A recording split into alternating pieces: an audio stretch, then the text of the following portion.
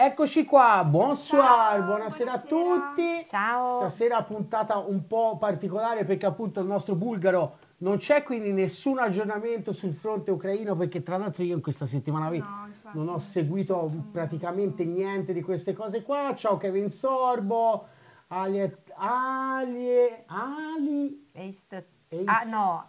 Ah, Ah, Ali, The. Cake. Uno, la parte Avete finale. fantasia, però, una- la parte finale è. The Cake. The Cake. Ciao Poi ciao, Gianmaria, Albanese, ciao Tirano, Demostene. buonasera. Demostene è sempre con noi, che Mario, bellino. buonasera. Vol- voglio il riassuntone di Trento prima del Volpi. Eh, ora magari un accennino veloce ve lo facciamo. Fabio, buonasera. Eh, Roberta, buonasera. Alessandro, buonasera. Insomma, buonasera a tutti quanti. Appunto, stasera eh, eh, ci possiamo, diciamo, approfittiamo dell'assenza eh, di Francesco per dedicarci eh, completamente a Alessandro che insomma ha messo un po' insieme più o meno le riflessioni che eh, ha avuto più volte occasione di, di fare eh, da noi, da chi lo segue e chi non lo segue gli, gli consiglio assolutamente di seguirlo su Facebook perché non è un rompicoglioni, scrive la sua, il suo postino No, di 5-6 però- righe al giorno che è, è- è proprio una pillolina E di- Redelda dice: Quando parla il prof Volpi mi si riattivano i neuroni in massa. Eh. Io pensavo che ci fosse la battuta La sulla battuta, massa. Eh, insomma, eh, prima di dare di, di passare, insomma, appunto, no, dicevamo, da- da- ha messo insieme, insomma, un po' le riflessioni che aveva fatto eh, lungo quest'anno, che principalmente appunto hanno riguardato eh, puntare sempre i riflettori eh, sul fatto, diciamo, sul moltiplicatore esponenziale di tutte le cause che ci sono state, anche esogene, diciamo, che hanno portato all'inflazione, che però in, in nessun modo, soprattutto per quanto riguar- riguardava i prezzi dei cereali, i prezzi delle commodities, i prezzi dell'energia, soprattutto in una determinata fase, era giustificabile con appunto un ragionamento sull'offerta e sulla domanda, che è quella che ci insegnano a scuola e vorrebbero ancora farci credere che il mercato funziona così, mentre diciamo il mercato proprio dell'offerta, della domanda e dell'offerta se ne frega abbastanza giusto, mentre appunto i meccanismi speculativi che ci sono sopra, che dovevamo in qualche modo mettere un pochino eh, sotto osservazione dopo che nel 2008 ci avevano causato la più grande crisi finanziaria diciamo, eh, da, da- da 80 anni a quella parte e invece diciamo come ben sappiamo sono stati eh, eh, eh, semplicemente invece ehm, diciamo pompati ancora di più e per cui oggi siamo in una situazione dove appunto per eh, variazioni minime dal lato dell'offerta succedono, accadono sconvolgimenti dei prezzi che- anche dell'ordine di 10-20 volte, insomma senza eh, una grande razza. E que- nel libro è spiegato molto bene questo aspetto qui facendo dei riferimenti anche al passato e poi sono spiegate anche tantissime altre cose e ci sono anche un po' di proposte eh, concrete insomma del- su, su cosa fare concretamente per eh, insomma da- eh, ne- nella situazione attuale. Prima di questo però vi volevo appunto raccontare che siamo appena tornati io e la Letizia da una, mm, due giorni in, una, diciamo, in un contesto un po' strano per noi, perché è un contesto molto diciamo eh, mm, un po' complottista tra virgolette, anche se dentro questa cosa qua del complottismo come abbiamo potuto vedere oggi poi ci, ci finiscano dentro anche robe che magari invece sono Ma, no, no, allora, io direi innanzitutto di ringraziare per l'organizzazione. Assolutamente, organizzazione stati- strepitosa, cioè, posto de- po- cioè proprio Cioè, dove vedi- delle macchine da guerra, 100 volontari che si sono fatti un culo così, hanno messo insieme 30-40 relatori per due giorni, tutto perfettamente organizzato, noi di Ottolina non saremo mai in grado, io ero molto, cioè un po' in difficoltà perché dicevo che col cazzo, festa di Ottolina non vi aspettate quell'organizzazione lì, perché noi si fa tutto l'ultimo giorno come viene, ecco, quella è un po' la caratteristica. Forse perché sono del nord. Eh? Eh, non lo so. Comunque veramente Anche per il strepitosi, parcheggio erano super simpatici, super molto aperti, accoglienti. super accoglienti e tutto. E diciamo eh, era una cosa molto parecchi relatori. Io insomma mi sono anche un po' incazzato, ecco, non proprio incazzato perché appunto eh, la predominanza totale di alcuni aspetti che secondo noi sono o sbagliati o marginali e mentre appunto c'era un po' di eh, confusione in vari interventi fino anche proprio a essere eh, irricevibili. Eh, ad esempio, sono stati un po' di interventi eh, super anticinesi, ma proprio anticinesi alla, alla Berlusconi old, old, school, insomma, proprio che i cinesi eh, c'è la dittatura, i cinesi non sanno cosa c'è fuori dalla Cina, proprio gente che la Cina non, non, non ha la, la, minima idea di cosa sia e si immagina proprio la gente con le banane che si tira le banane, bambini, eh, che mangiano i bambini, capito? e quindi su quello, insomma, appunto il mio intervento poi eh, poteva essere di mille, eh,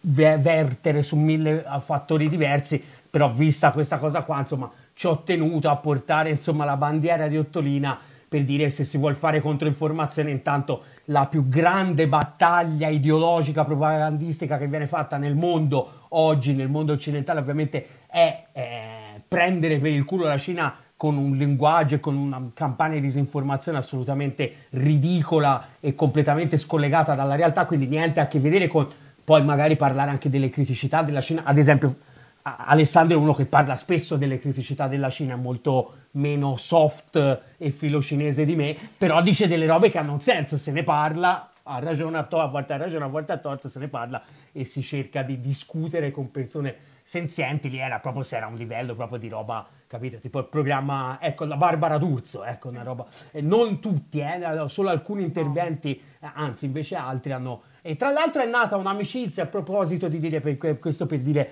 che appunto eh, non bisogna mettere tutto nello stesso calderone, è nata un'amicizia proprio a pelle, a me mi è stata subito simpatica con una che ci avete eh, spesso chiesto, eh, soprattutto diciamo non magari chi ci segue più assiduamente nelle live eccetera, il pubblico un po' più occasionale, di invitare che è Pubble, che è una persona che penso abbia una chiara matrice, radice culturale di destra, anche penso con un passato più o meno simil militante, di destra a destra, però persona, cioè, secondo me, super trasparente che a me ha dato l'impressione proprio di essere interessata a, uh, insomma, a sentire cose che generalmente non, non può leggere, diciamo, su Repubblica, sulla stampa, eccetera, e quindi la inviterò non perché appunto abbiamo tutte e due marcato chiaramente le, le differenze che ci sono, però mh, mm, insomma mh, mm, mh, mm, ho, ho, visto questa apertura qua, ecco, e, e, anche in quel mondo lì di roba che a noi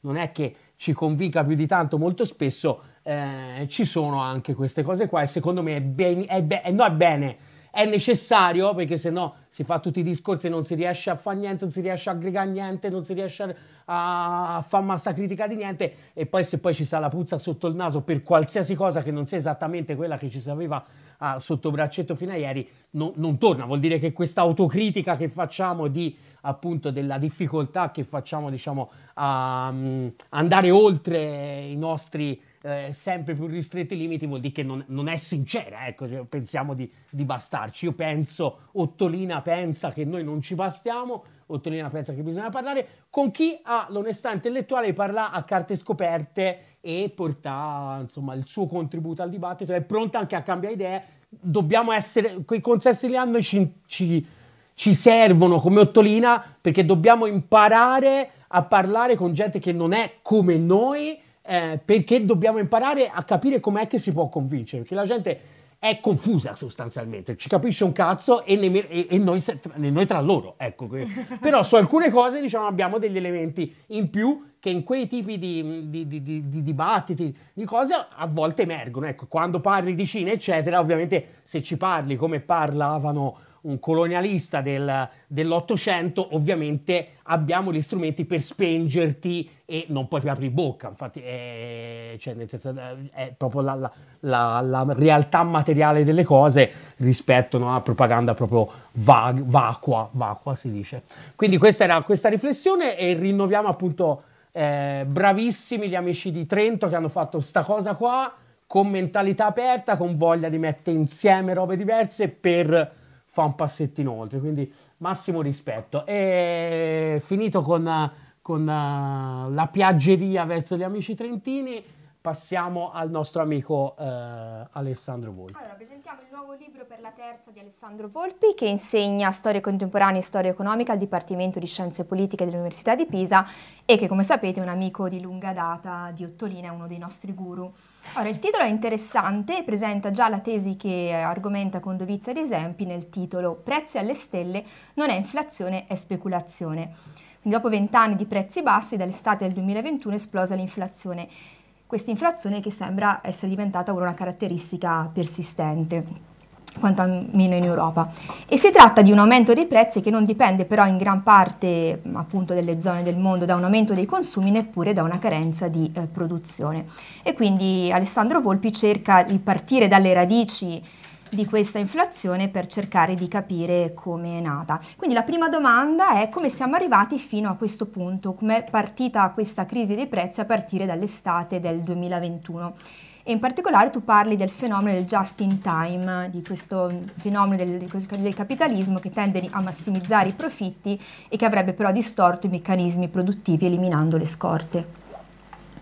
Sì, sì grazie, ma intanto eh, appunto come giustamente è stato introdotto il libro parte da una constatazione evidente, noi siamo entrati in una fase che è una nuova fase inflazionistica che non conoscevamo sostanzialmente da 20-25 anni, insomma dalla metà degli anni 90, noi non conoscevamo aumenti di prezzo che fossero dei prezzi che fossero paragonabili ai prezzi diciamo degli ultimi tempi, appunto a partire dall'estate del 21, eh, prezzi con un'inflazione che è arrivata al 10%, ora viaggia intorno al 7%, un po' più bassa negli Stati Uniti, ma insomma un'inflazione ovviamente molto importante che in alcuni momenti è arrivata appunto, come si diceva prima, a due cifre. Non la conoscevamo da ormai lunghissimo tempo. Non la conoscevamo perché, nonostante i consumi in parte fossero aumentati, c'era stato un sistema appunto di contenimento dell'inflazione in larga parte legato al tema della finanziarizzazione, su cui magari torneremo, per cui sostanzialmente l'impressione generale era che i prezzi fossero destinati a scendere e non a salire. Eh, questa impressione è cambiata nell'estate del 2021 per una serie di fattori. La prima, il primo fattore è certamente l'idea che fosse finito il Covid, quindi che stessero per ripartire i consumi eh, mondiali. L'altro fattore importante a cui eh, facevi riferimento è il fatto che in quel momento eh, sono venuti a galla a partire dall'estate del 2021 con una parzialissima ripresa della domanda mondiale sono venuti a galla quelli che sono i limiti più evidenti del sistema capitalistico, cioè un sistema capitalistico che si era organizzato nel corso degli ultimi 30 anni sostanzialmente dislocando la produzione in giro per il mondo e eliminando in larga misura le scorte di magazzino, just in time vuol dire fondamentalmente quello, le imprese si approvvigionavano a seconda dei momenti senza avere mai delle scorte che fossero delle scorte significative e questo tipo di elementi, cioè la percezione che stesse per ripartire la domanda, la percezione e anche per alcuni versi una parziale eh, manifestazione di alcuni colli di bottiglia come appunto eh, l'assenza di scorte di magazzino ha creato questa aspettativa che i prezzi fossero destinati a salire. Perché dico l'aspettativa? Perché in realtà, appunto, come avremo modo di dire, se abbiamo modo di tornarci, in realtà anche questi colli di bottiglia, anche le difficoltà di just in time hanno determinato un minor approvvigionamento in maniera molto contenuta, cioè noi non ci siamo trovati improvvisamente di fronte alla carenza di materie prime, di fronte alla carenza di fonti energetiche, ci siamo trovati di fronte ad un'aspettativa che era l'aspettativa di un mondo che riprendesse e non fosse pronto per la ripresa. Che cosa è successo in quel momento? È successo che in quel momento quegli strumenti finanziari che sono stati costruiti in larga misura a partire dal nuovo millennio, che sono stati potenziati dopo la crisi del 2008 paradossalmente e che sono diventati come dire, il pane quotidiano della finanza, cioè gli strumenti derivati, le scommesse sull'andamento dei prezzi, hanno cominciato a puntare sistematicamente al rialzo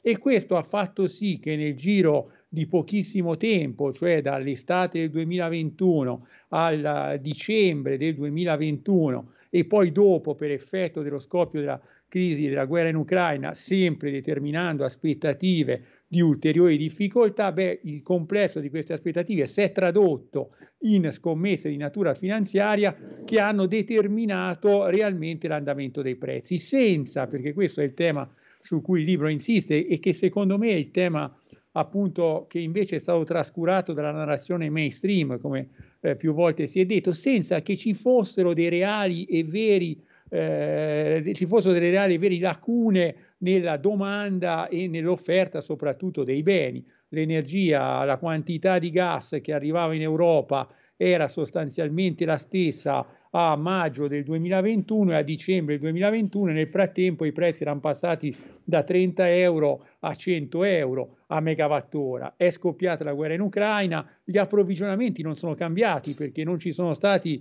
eh, interruzioni del flusso di approvvigionamento di gas russo, non ci sono state carenze sostanziali di materie prime, di eh, materie alimentari e quant'altro, però i prezzi sono impennati e sono impennati perché appunto nei luoghi dove si definiscono i prezzi, le scommesse sull'andamento dei prezzi hanno puntato a rialzo e hanno generato un unicum storico che nel giro di pochissimi mesi i prezzi sono saliti di 10 volte senza che il rapporto reale fra la domanda e l'offerta di quei beni avesse subito dei significativi cambiamenti. E quindi è chiaro che è un'inflazione da speculazione finanziaria, è un'inflazione da,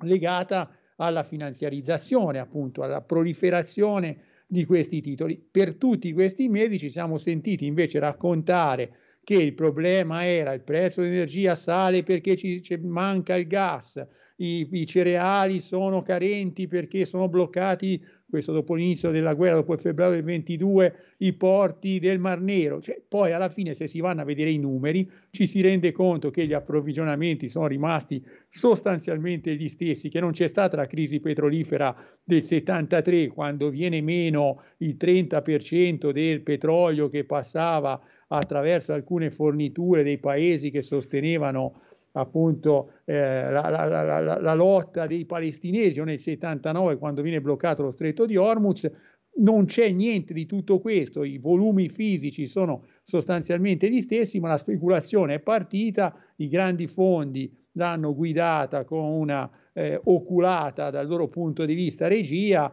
e questo ha determinato un'inflazione che non ha uguali nella storia contemporanea, perché non dobbiamo dimenticarci questo, che noi ci troviamo di fronte, ci siamo trovati di fronte a un aumento, a due anomalie, una un aumento dei prezzi senza che ci fosse una carenza reale di produzione o tantomeno un aumento dei consumi e il secondo che abbiamo toccato il record, siamo arrivati a prezzi assolutamente eh, mai raggiunti nel corso de, de, de, degli anni da cui si hanno le statistiche e questo è diciamo così la peculiarità, questa è la peculiarità di questo tipo di inflazione.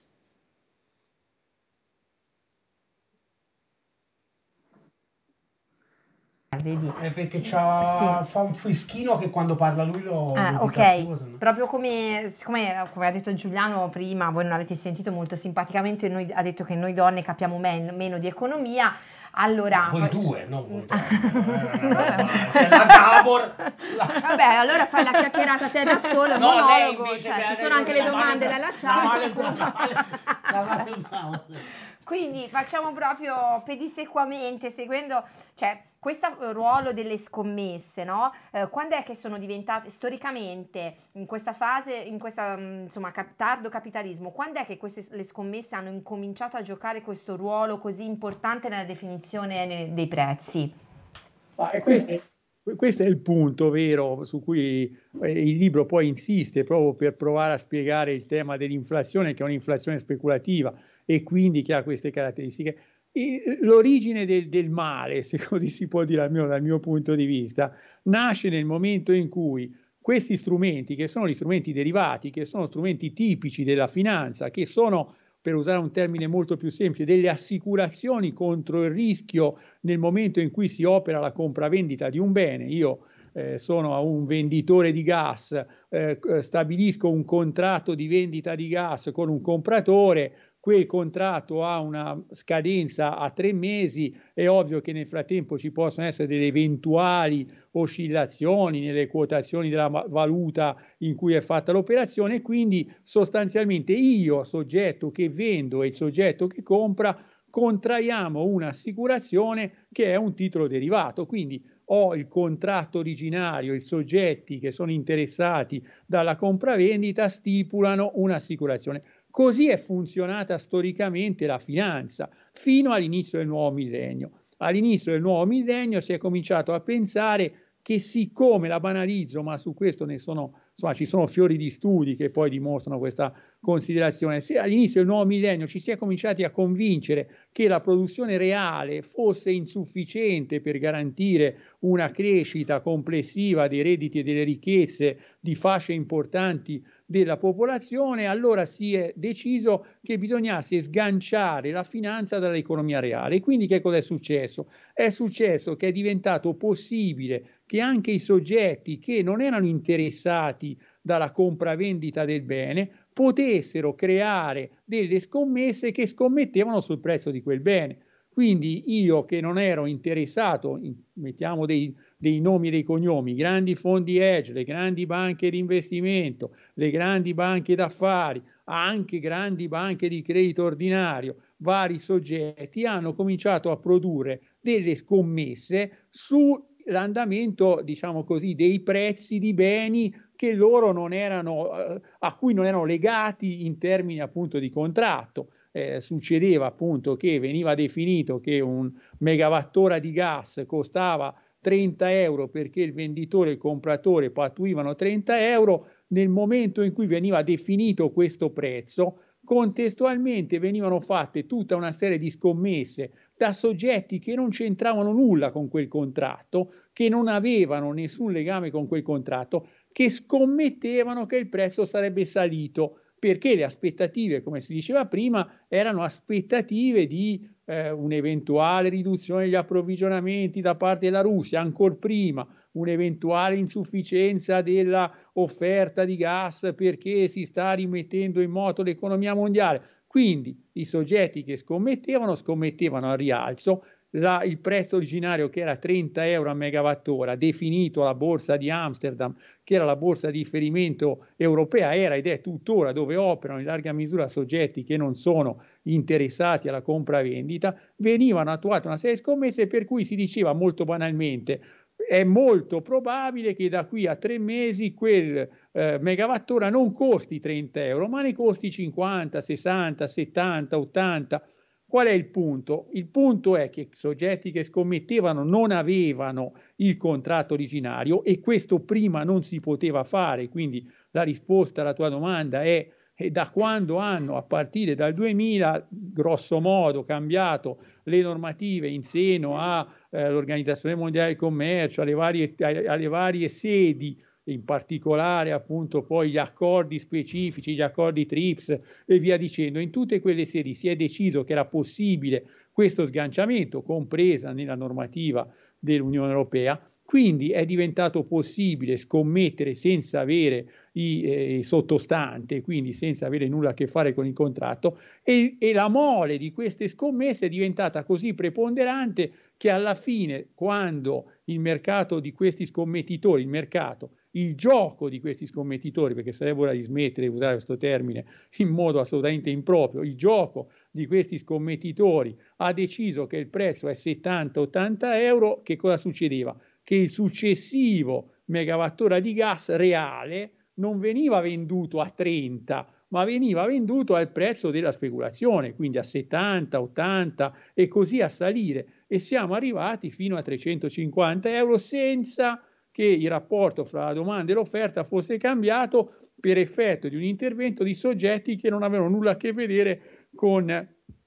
il ciclo produttivo e che, ripeto, fino ai, alla trasformazione normativa intervenuta appunto grosso modo dalla fine degli anni 90, primo anni del nuovo millennio, non era possibile perché fino ad allora gli strumenti della finanza derivata erano delle vere e proprie assicurazioni cosa che oggi non è più possibile. E qui l'esempio è molto palmare. Prima è come se eh, eh, eh, si potesse fare un'assicurazione senza avere l'automobile sulla quale fare, verso, nei confronti della quale fare l'assicurazione. Prima la finanza prevedeva le stesse regole del mercato delle assicurazioni, ora la finanza prevede che a differenza di quello che accade nel mercato delle assicurazioni sui beni reali, non è necessario disporre dell'automobile per fare la scommessa e questo ha gonfiato i prezzi, ha determinato un'esplosione di prezzi che ha eh, portato i prezzi a, appunto nel giro di eh, pochi mesi da 30 a 320, 330 euro al megawattora. Questo vale per il gas, ma vale per tutta una serie di altri beni. Quindi c'è stata una trasformazione profonda del ruolo della finanza nel momento in cui ci si è convinti che la finanza dovesse diventare un'industria al pari delle altre, anzi sostituendo le altre. Io devo, la famosa finanza artificiale, io devo creare dei prodotti che sono i prodotti finanziari in grado di generare ricchezza a prescindere dall'economia reale. Quindi li devo svincolare e su questo principio teorizzato, eh, teorizzato, ripeto, non nato casualmente, teorizzato e ovviamente sostenuto parallelamente dallo sviluppo delle grandi banche edge, dei grandi, scusatemi, dei grandi fondi edge che poi hanno avuto un ruolo decisivo, decisivo anche nella trasformazione bancaria, su questo si è determinato questo sganciamento che provoca di fatto una oscillazione dei prezzi che è impazzita perché come poi si scommette a rialzo, si può scommettere a ribasso qualora si ritenga che si è raggiunto un picco che è un picco rispetto al quale invece è conveniente cominciare a scommettere a ribasso. Quindi è figlio di una nuova trasformazione, eh, Giuliano lo dice più volte, e io ne sono convinto, è figlio dell'era Clinton. Purtroppo il padre nobile di queste simpatiche trovate è il cambiamento della normativa americana sul sistema finanziario, che è stata poi trasferita in sede Organizzazione Mondiale del Commercio, che è stata un po', eh, come si può dire, pedissequamente e, da, e un po' in maniera idiota eh, trasferita in Europa, o meglio recepita sul piano europeo, perché poi alla fine questi grandi fondi eh, non sono certamente fondi europei in questa... Ah, aggiungerei, scusa Ale, solo una nota storica, nel senso perché appunto giustamente diciamo Cl- Cl- la, la, appunto, l'amministrazione Clinton è notoriamente la più, come ho detto nel pipone, la più speculatori friendly della storia americana, però diciamo non è una cosa che è nata... Eh, da, da, da, è nata dalla, da, proprio dalla controrivoluzione neoliberista in, in uh, eh,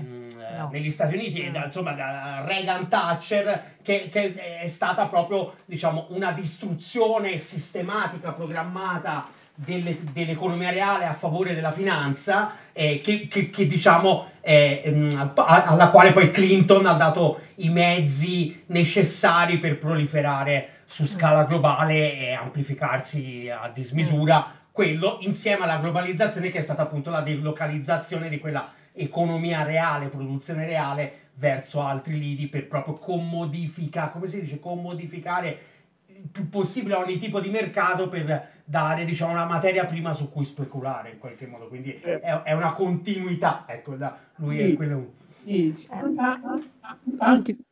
anche, se secondo me però anche lì eh, c'è un salto di qualità cioè nel senso la Reaganomics eh, hanno ovviamente posto le premesse, perché hanno posto le premesse della liberalizzazione dei flussi di capitale, perché altrimenti senza la liberalizzazione dei flussi di capitale è chiaro che se i capitali rimanevano ancorati alle realtà territoriali la finanziarizzazione non era possibile. Certamente eh, la Reaganomics ha utilizzato con Paul Volcker alla Federal Reserve la logica eh, dell'utilizzo del dollaro come strumento di regolazione anche dei tassi di interesse per attrarre capitali. È, vero, quindi le premesse, come tu giustamente dicevi, hai detto più volte, stanno lì dentro, così come sta lì dentro il tema della Cina, perché è chiaro che nel momento in cui la Cina diventa un bacino produttivo formidabile, la, la, come si può dire, la finanziarizzazione comincia a pensare che si può scommettere sul mantenimento di prezzi bassi grazie al ruolo di calmiere della Cina.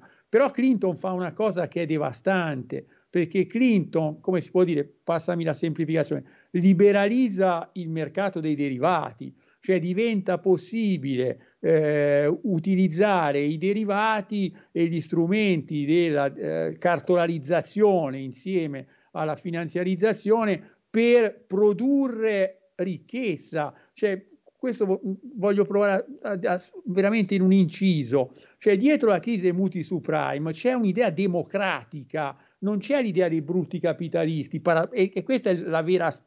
il vero dramma, perché c'era l'illusione che creando strumenti finanziari che riducessero il rischio, che moltiplicassero all'inverosimile i, i, i consumatori dei beni finanziari si eh, rendesse possibile, come si può dire, una paradossale democratizzazione della finanziarizzazione. Mi spiego meglio, è chiaro che se un cittadino americano voleva contrarre un mutuo con eh, una, che guadagnava 30.000 dollari e voleva una casa da 700.000 dollari, non gliela davano senza la cartolarizzazione. Allora la teoresi dei democratici americani era ma se noi trasferiamo il rischio del mutuo del signor Lopez, che è un poveraccio, a decine di migliaia di americani che sono compratori del suo mutuo trasformato in tanti titoli, il signor Lopez si compra la casa che non si può permettere e questi altri americani fanno dei soldi sui titoli del mutuo del signor Lopez,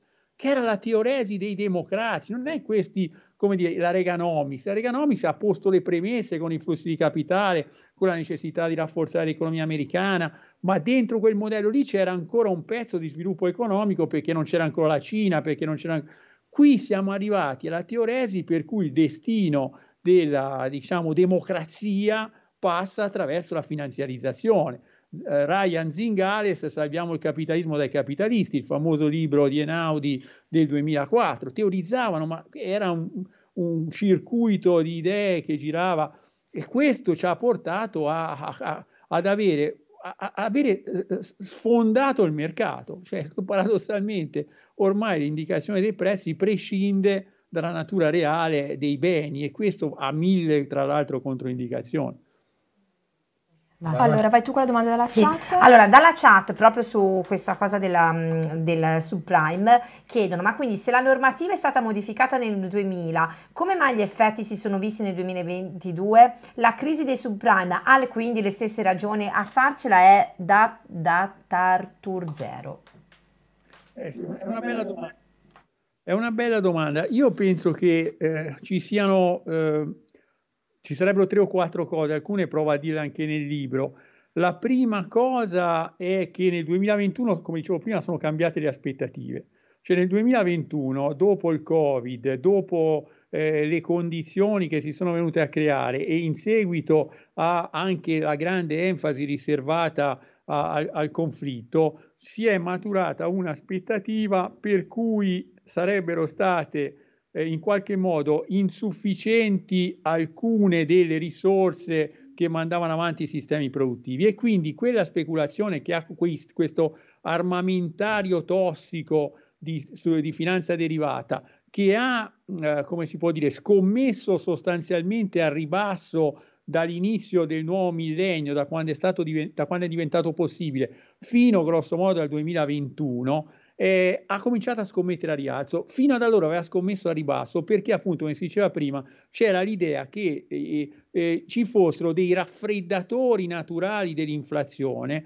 che erano i paesi emergenti. Quindi il basso costo della manodopera, il basso costo dell'impatto ambientale, tutte queste cose hanno indotto quella finanziarizzazione a scommettere a ribasso. E guardate, in quel periodo, lo sappiamo ormai i dati, i consumi mondiali sono raddoppiati nel corso degli ultimi vent'anni. Quindi è evidente che anche lì la speculazione ha puntato e ha distorto il funzionamento del mercato. Nel 2021 questa roba ha cambiato verso e si è cominciato a scommettere a rialzo. C'è una seconda considerazione che è figlia, anche questa la ricordava bene Giuliano oggi, nella, non so se, eh, eh, nella cosa che ha fatto per la presentazione della trasmissione. C'è un'altra cosa, che la crisi del 2008 ha dato una linfa micidiale ai fondi edge perché i fondi edge sono stati fra coloro i quali sono riusciti, basti pensare per certi versi a, a, o, o, ai fondi edge o alle grandi banche come JP Morgan, sono riusciti a beneficiare di quella marea di soldi pubblici. Scusa Alessandro, se nel contesto ci puoi spiegare meglio cosa sono questi fondi e come funzionano?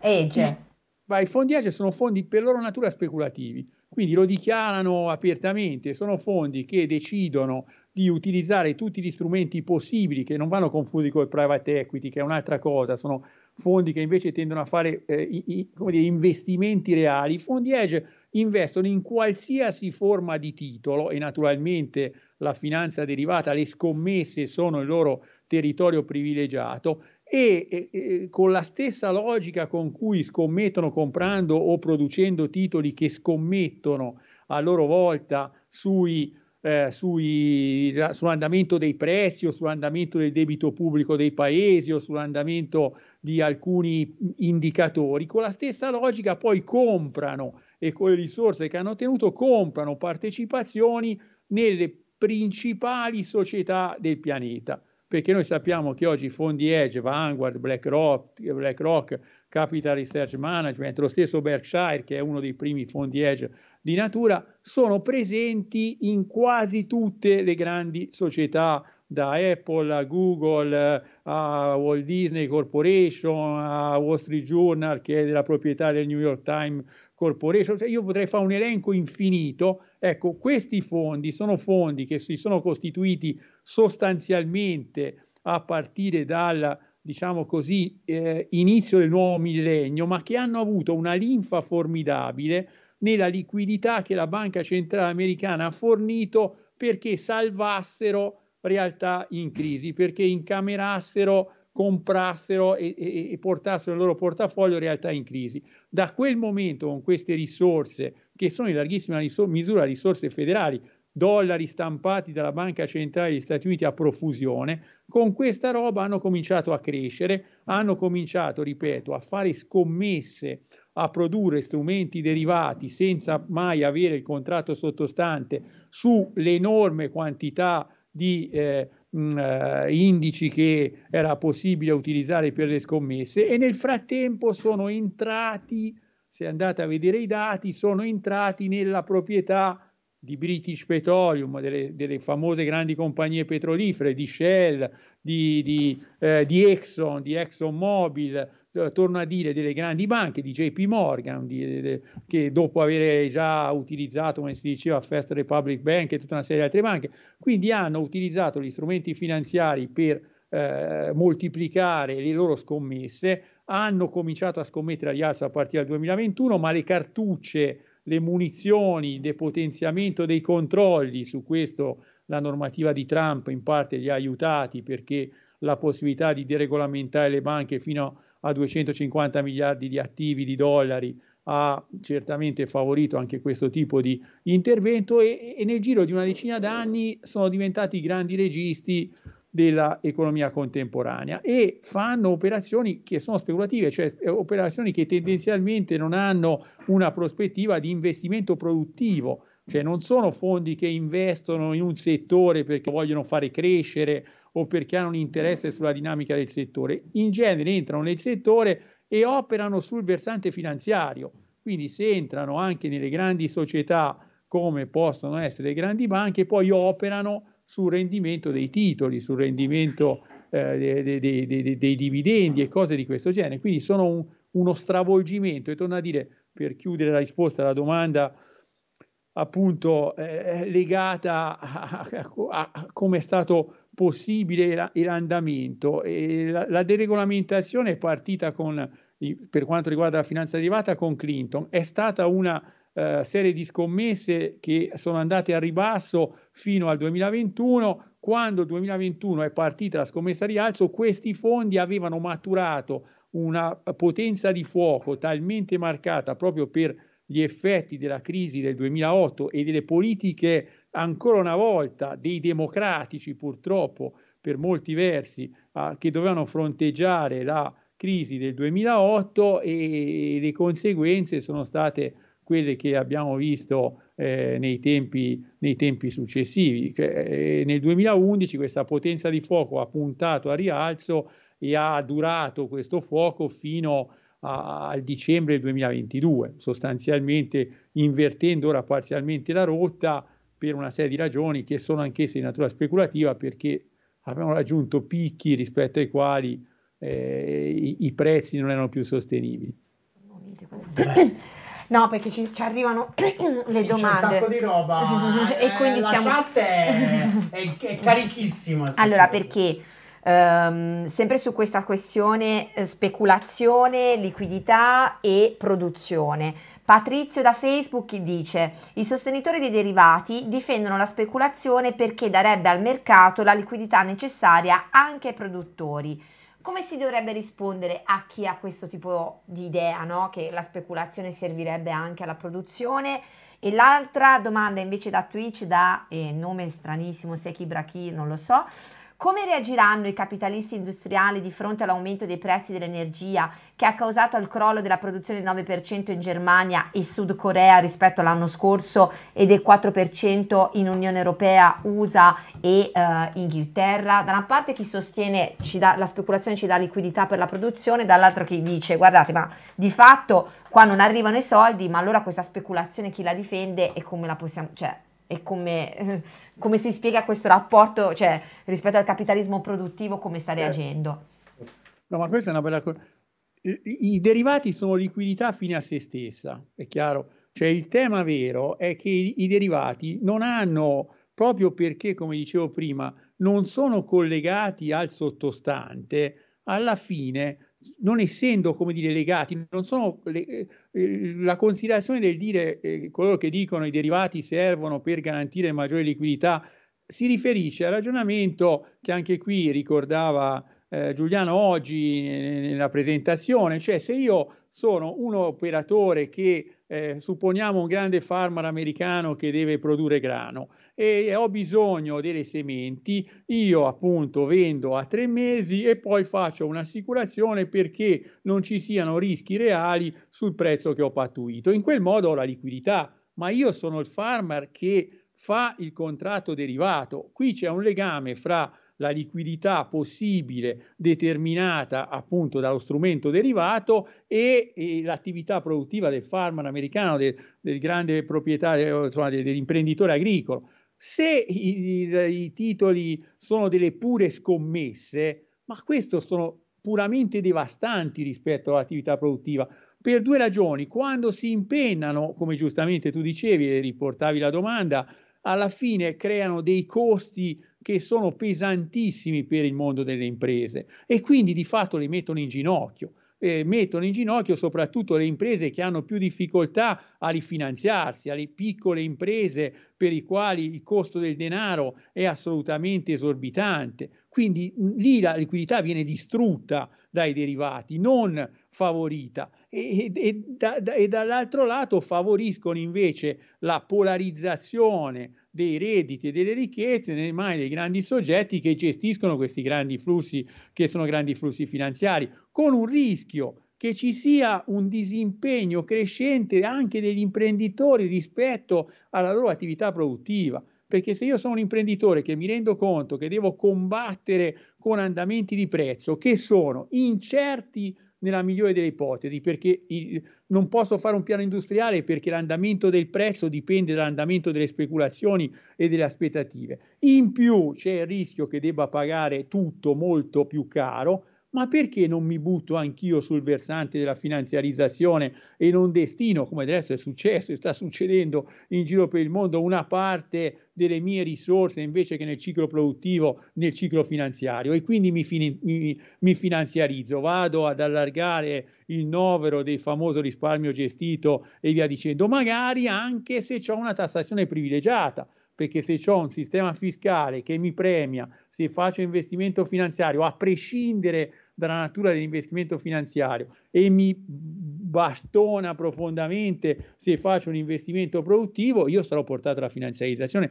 Quindi è evidente che noi dobbiamo fare una cosa chiara, chiara, il libro nasce solo per dire questa cosa elementare, poi come dire, che non possiamo permetterci una finanza che sia scollegata dall'economia, se no se la mangia. E questo si stabilisce riportando la lancetta a prima che fosse possibile eh, produrre derivati senza avere il contratto sottostante. Vuoi fare un derivato? Benissimo, il derivato, come si diceva prima, serve a favorire la liquidità, ma serve nella misura in cui tu hai, sei il titolare del contratto. Io vendo grano, ho bisogno di avere un'assicurazione sull'oscillazione dei prezzi che mi mette nelle condizioni di essere più tranquillo con la banca, la banca mi fa il prestito, ma ho il contratto non ci può essere il soggetto terzo che dice io scommetto che quel grano lì fra tre mesi costerà 30 volte in più perché hanno bloccato il porto del Mar Nero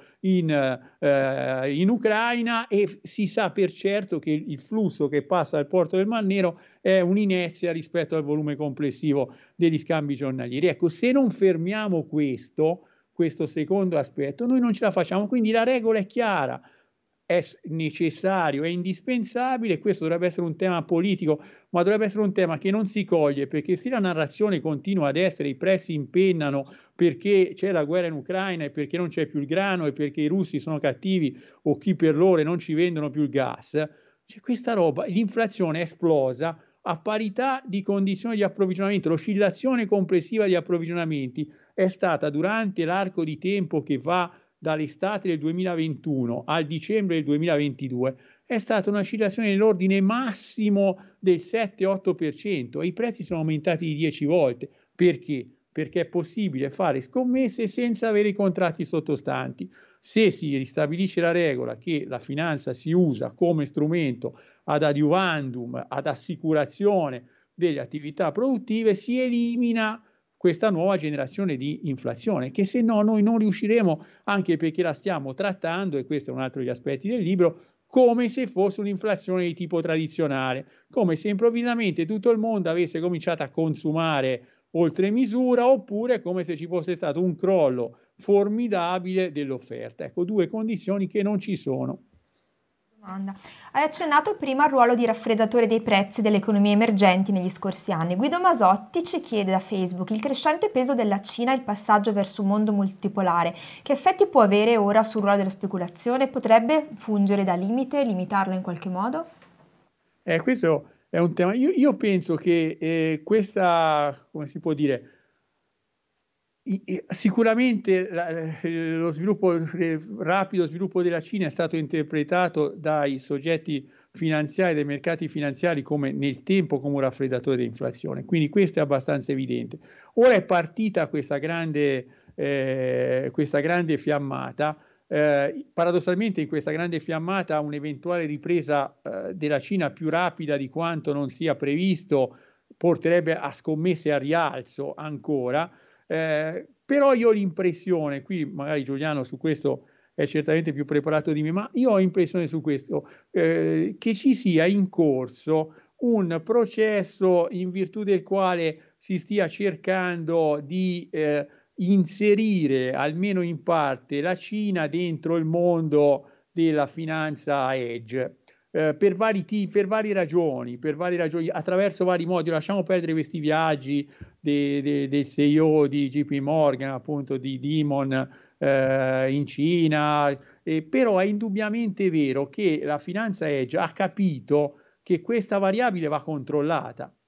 E io, per esempio, peraltro, sono convinto che eh, tutta questa regia del tetto sul debito degli Stati Uniti sia servita per rendere in qualche modo eh, i titoli di Stato americani con rischio di declassamento meno sicuri e quindi dimostrare al mondo che le uniche eh, basi di sicurezza degli investimenti sono i prodotti finanziari partoriti da JP Morgan, dai grandi fondi. E lo dico a ragion veduta, ma non perché, ma perché anche lì di chi è Moody's di chi è Standard Poor's, chi sono i grandi riferimenti di questi soggetti che sono quelli che danno le pagelle, perché noi ci becchiamo le pagelle di que- sono Vanguard, BlackRock, sono gli stessi fondi edge che sono i JP Morgan. Cioè l'idea è che alla fine ci sia un blocco di potere finanziario molto più forte della Federal Reserve di Powell, di Janet Yellen e che alla fine va a trattare con la Cina come del resto ha fatto con l'Ucraina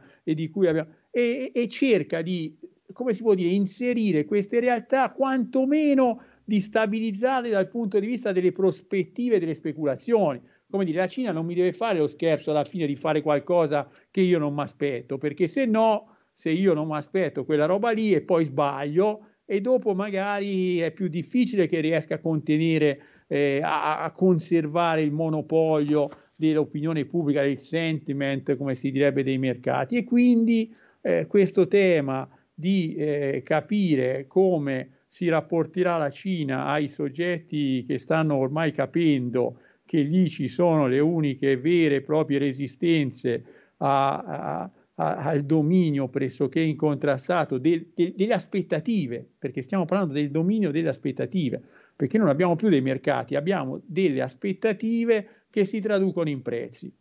che poi determinano l'economia reale. Questo è il punto centrale. Allora la Cina, siccome ha radici di economia reale solide, ecco, bisogna che non sia un elemento destabilizzante di questo gioco di generazione di ricchezza finanziaria su cui investe ormai una parte significativa del, de, de, dell'economia del pianeta.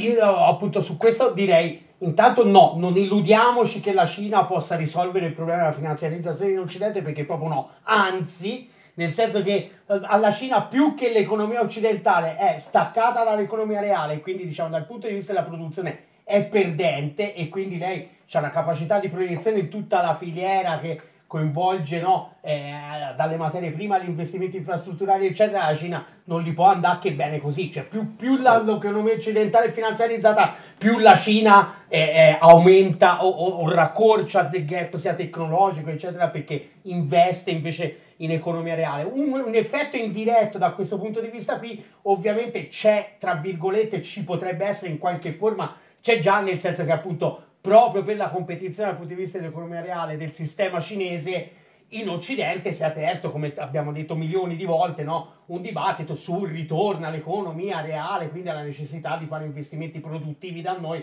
che ovviamente necessitano anche del fatto che per fare i soldi devi produrre qualcosa e non semplicemente passare da denaro a più denaro. Quindi questo effetto indiretto, nel senso co- come cioè, è un po' l'effetto indiretto di la Russia che ti spingeva a fare un, a rafforzare il welfare in Occidente, ecco, in qualche modo. Cioè, è proprio un effetto indiretto, non che la Cina in qualche modo, anzi, appunto, è una, un altro mercato su cui espandere, un, un sostegno alla commoditificazione di tutti di tutte appunto le materie prime eccetera quindi anzi eh, assolutamente non, non, non ci risolverà il problema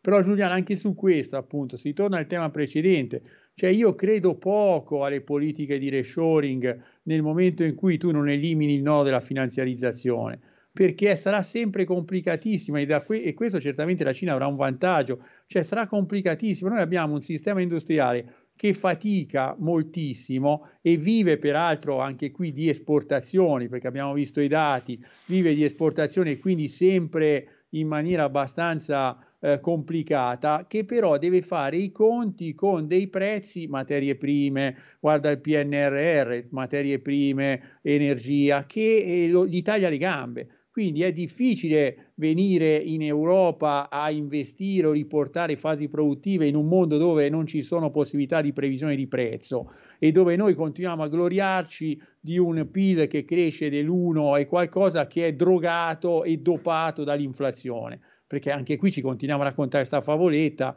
che noi cresciamo più di altri paesi, poi se facciamo un raffronto in termini inflazionistici vediamo che per esempio la Francia ha un'inflazione più bassa della nostra e quindi è chiaro che abbia una crescita che è una crescita tendenzialmente, ma stiamo parlando del niente rispetto a una capacità vera di riportare filiere produttive in un paese. Se tu non restituisci un certo grado di approssimazione alla verità, diciamo così, dei prezzi, fai fatica negli Stati Uniti stanno utilizzando appunto eh, la normativa, i soldi pubblici anche per attrarre lì una parte dei cicli produttivi, per cui in un mondo dove da una parte i prezzi sono instabili, dall'altra c'è un finanziamento pubblico per l'attrazione di fasi produttive e hanno la possibilità con i tassi di interesse di recuperare risorse in giro per il mondo e stampare dollari, è chiaro che la partita mi sembra molto, molto difficile che l'Europa possa poi per, effettivamente, come tu dicevi, essere indotta dalla concorrenza cinese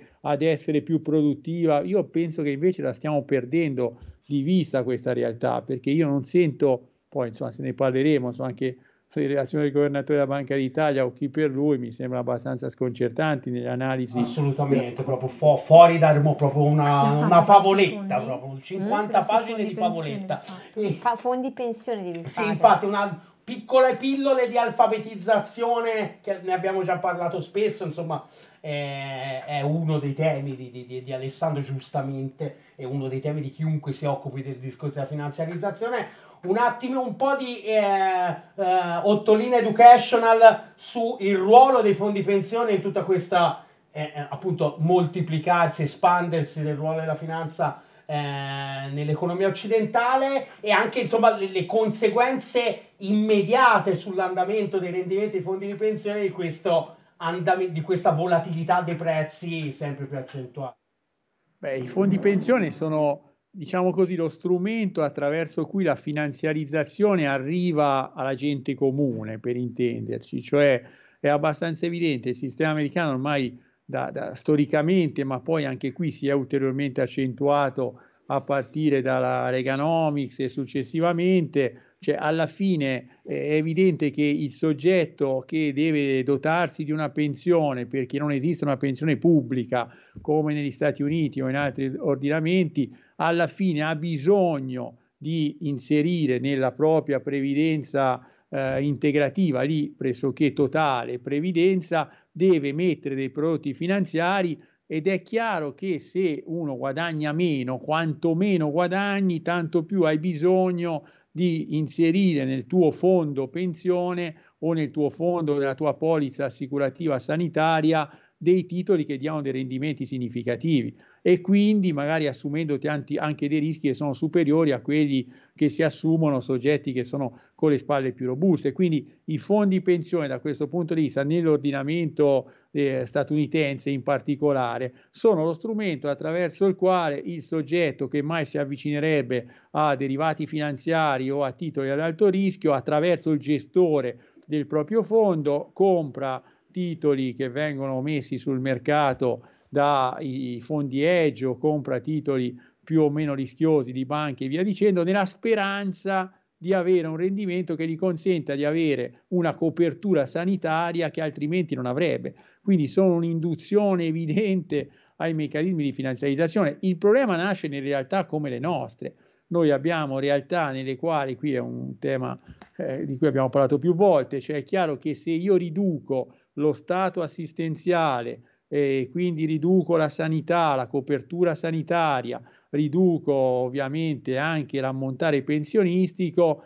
dovrò creare finanza, previdenza complementare, dovrò creare polizze di sanità privata e quindi che cosa succederà? Che si procederà, come sta avvenendo, a una riduzione del carico fiscale. Riduzione del carico fiscale vuol dire minor gettito, minor gettito vuol dire che eh, ovviamente gli italiani dovranno supplire ai servizi sanitari di cui non dispongono più, visite specialistiche, analisi, diagnostica, lo dicono i numeri, rivolgendosi alla, a, alla, a, alla sanità privata. Ma la sanità privata è una sanità, come dire, io mi rivolgo alla sanità privata finanziata cioè dal mio fondo, eh, dalla mia assicurazione sanitaria, la quale assicurazione sanitaria poi ovviamente dovrà garantirmi dei rendimenti adeguati per poter coprire le mie spese, perché se io guadagno eh, 25-30 mila euro l'anno e devo poi garantirmi un'operazione che ne costa 300 mila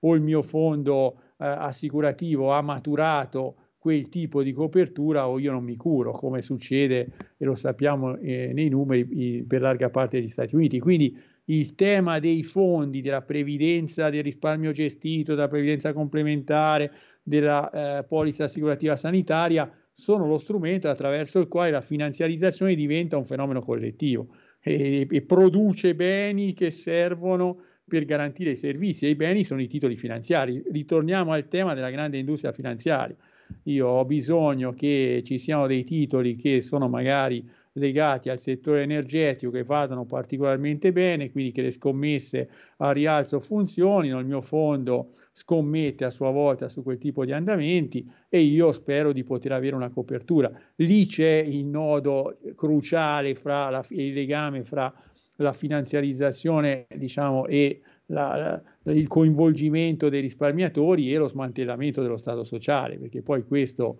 è il nodo critico di cui più volte si parla su, sulla instabilità, diciamo, eh, dei eh, fondi pensione nell'era del ritorno dell'inflazione, appunto, e della volatilità dei prezzi totale. Ricordiamo, insomma, che in settembre-ottobre 2022 i fondi pensione inglesi hanno sostanzialmente evitato il default per insomma, per, per, per, un intervento in extremis, ma comunque insomma sono stati messi uh, fortemente sotto stress e quindi diciamo eh, eh, il problema de, de, della tenuta dei fondi pensione che sono una parte gigantesca, qui appunto vedevo la, il dato è i fondi pensione inglesi 1700 miliardi di sterline, quindi diciamo un 70% del PIL inglese, eh, parliamo eh, 80. Questo è,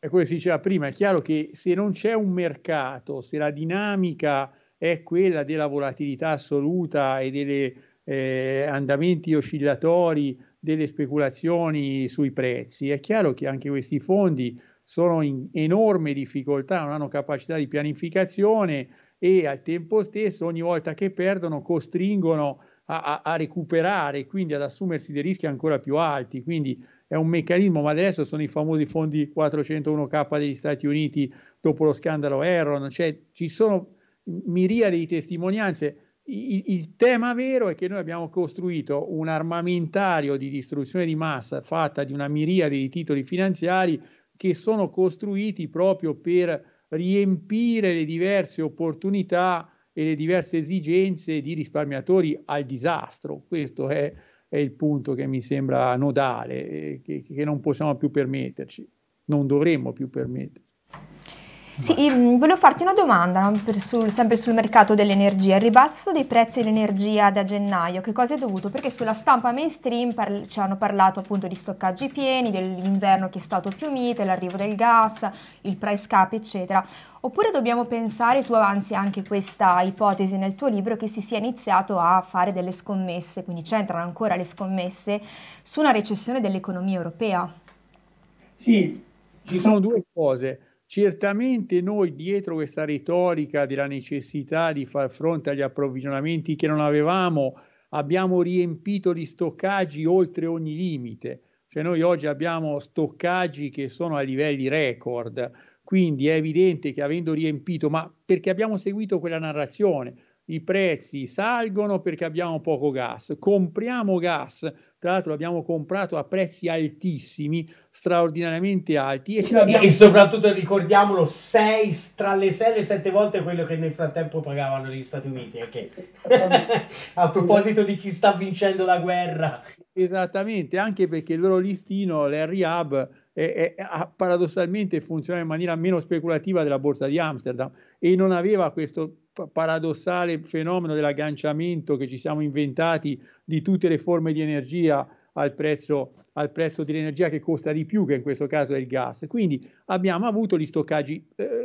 pieni oltre ogni misura. Ora è chiaro che già questo elemento fa pensare che i prezzi un pochino debbano scendere e quindi chiaramente questo ha contribuito a raffreddare almeno in parte questa iper, eh, iperdimensionamento. Poi però c'è il secondo aspetto, c'è il secondo aspetto che secondo me è assolutamente rilevante, ma non secondo me, insomma, sono diverse analisi in questo senso, che eh, ci si sia resi conto che proprio per effetto della iperinflazione eh, ci sono dei settori produttivi che hanno cominciato ad arrancare. Vedi il caso della Germania. La Germania in questo momento è due trimestri che affanna, è in affanno. Eh, l'economia europea fa fatica a riprendersi, ha dei dei livelli bassissimi nonostante l'inflazione e allora è evidente che chi fa le scommesse, peraltro quando si scommette a ribasso c'è anche questo formidabile giochino che sono le vendite allo scoperto, quindi la possibilità di scommettere senza avere nessun tipo di copertura, che hanno cominciato a drenare i prezzi verso il basso,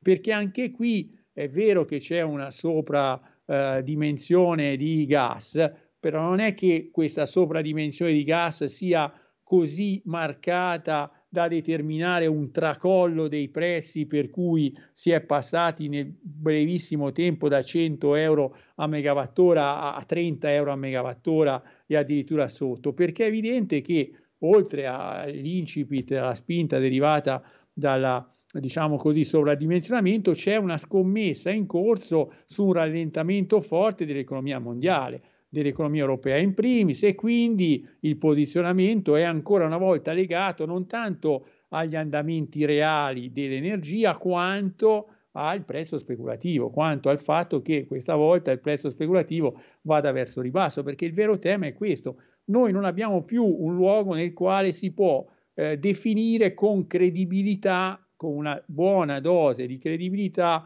quanto vale un bene, un servizio. Questo non, oggi lo, non, lo, non siamo in grado di farlo perché la dinamica dei prezzi è determinata dalla dinamica finanziaria e questo non ce lo raccontano, cioè quello che è impressionante. Non, nella relazione di Visco non c'è stato del governatore, considerazioni finali di Ignazio Visco, governatore della Banca d'Italia, non c'è stata una parola sul tema da cosa è nata questa inflazione. Io me la sono letta tre volte. Non no, c'è... ero, anch'io ero... No, soprattutto perché, poi come hai detto anche te, perché è stata anche salutata con un certo ottimismo da sinistra che è veramente una roba... Ora poi ci ritorniamo. Sì, sì, no, appunto. E quindi è evidente che anche Ribasso risente di questo tipo di dinamiche, che, che, peraltro sono pericolose, perché chiaramente chi ha comprato a prezzi alti e ora deve, penso, non so, la stessa vicenda dei cereali, chi ha fatto gli approvvigionamenti a prezzi molto alti, ora si trova con dei prezzi che sono crollati e è doppiamente danneggiato. La produzione è doppiamente danneggiata, hai pagato molto e vendi ora a basso prezzo. Quindi eh, questa, eh, diciamo così, distorsione speculativa va cancellata e l'unico modo è riportandola, come si diceva prima, a una funzione che è quella dell'assicurazione del bene reale, non svincolata dal bene reale. E sempre sulla questione energia, Stefano Bottil da YouTube chiede: Green New Deal c'entra qualcosa nell'aumento dell'inflazione di questo periodo? Sì, c'entra. Nell'inflazione di questo periodo c'entrano alcune cose, una delle quali è partita proprio prima della guerra in Ucraina, molto prima, perché fra le variabili che hanno inciso eh, c'è sicuramente il fatto che eh, il gas è stato definito, diciamo, in sede eh, eh, europea come l'unica forma di combustibile fossile che poteva traghettare verso la transizione eh, ecologica e quindi è chiaro che immediatamente quel bene è diventato oggetto di speculazione. Contestualmente a questo, il tema del Green New Deal si porta dietro tutto il tema de, da un lato dei crediti di emissione della CO2, che sono diventati anche lì un mercato speculativo, perché il, il, la scelta della Commissione europea, anzi del Parlamento europeo, che era quello di eh, dire, provare a calmierare la quantità di questi crediti, ha fatto sì che la vendita di questi crediti, che aggiungo è fatta da soggetti che non sono i, i, i diretti interessati, non sono le aziende che, come dire, eh, producono meno CO2 o hanno bisogno di più CO2, ma sono ancora una volta soggetti finanziari, sono ancora fondi che fanno questo tipo di operazioni, ha fatto impennare i prezzi. Cioè il momento in cui si è detto ridurremo il numero dei crediti di emissione perché vogliamo ovviamente ridurre l'inquinamento, i proprietari di, quei crediti che avevano rilevati dalle aziende, quindi il mercato intermedio, l'intermediazione su quei crediti, si è impennata e quindi i crediti sono diventati più costosi e questo ha certamente contribuito all'aumento del prezzo dell'energia. Quindi gli errori in, questo caso sono abbastanza chiari. Il primo, lo dicevo prima, noi abbiamo continuato a tenere tutte le forme di energia agganciate al, eh, al prezzo dell'energia più alta, che era nato quando si voleva incentivare le rinnovabili, che erano quelle che costavano di più e quindi ora il gas era diventata quella che costava di più, quindi il prezzo anche delle rinnovabili che costavano molto meno era il prezzo del gas. Abbiamo eh, ridotto il mercato dei certificati eh, dei crediti emissivi, che sono quelli, ripeto, che dovrebbero servire alle aziende che stanno stru- ristrutturandosi, andando in direzione di una riduzione dell'emissione, ma che non sono ancora in grado di farlo e quindi hanno bisogno di tempo per evitare di licenziare, quei crediti sono diventati una merce finanziaria e sono stati venduti a prezzi inenarrabili, mettendo ovviamente in difficoltà anche le aziende che stanno facendo la transizione. Poi è chiaro che la transizione ecologica si porta dietro di sé, energetica in modo particolare, si porta dietro di sé l'individuazione di alcuni settori sui quali i prezzi sono particolarmente saliti perché sono necessari per le forme ovviamente di transizione energetica. Tutto questo per dire che se, torno a dire, noi non eliminiamo le cartucce della speculazione, della scommessa, a prescindere dall'economia reale, noi qualsiasi tipo di fenomeno che vada in una certa direzione, in questo caso anche la transizione, determinerà delle oscillazioni di prezzo ingestibili. Del resto la vicenda dei crediti emissivi è singolare anche lì, ma perché i crediti emissivi devono avere un, dire, un mercato secondario, cioè un mercato nel quale ci sono operatori che sono operatori finanziari che operano soltanto in chiave finanziaria e quindi anche lì fanno delle scommesse sull'andamento del prezzo dei crediti emissivi. È chiaro che se il Parlamento europeo riduce il numero dei crediti emissivi disponibili è abbastanza evidente che o almeno dà un segnale in tale direzione, perché questo è stato no? una vera e propria riduzione, dà un segnale, i prezzi salgono e questo determina ovviamente effetti che sono effetti pesantissimi. Dobbiamo eh, torno a dire, la, la, definanziarizzazione è una condizione sine qua non. No, sono disattivato. No, scusa, ci avevano chiesto se c'erano i sottotitoli su YouTube, però in live su non so Facebook, se poi li generano sì. dopo. So,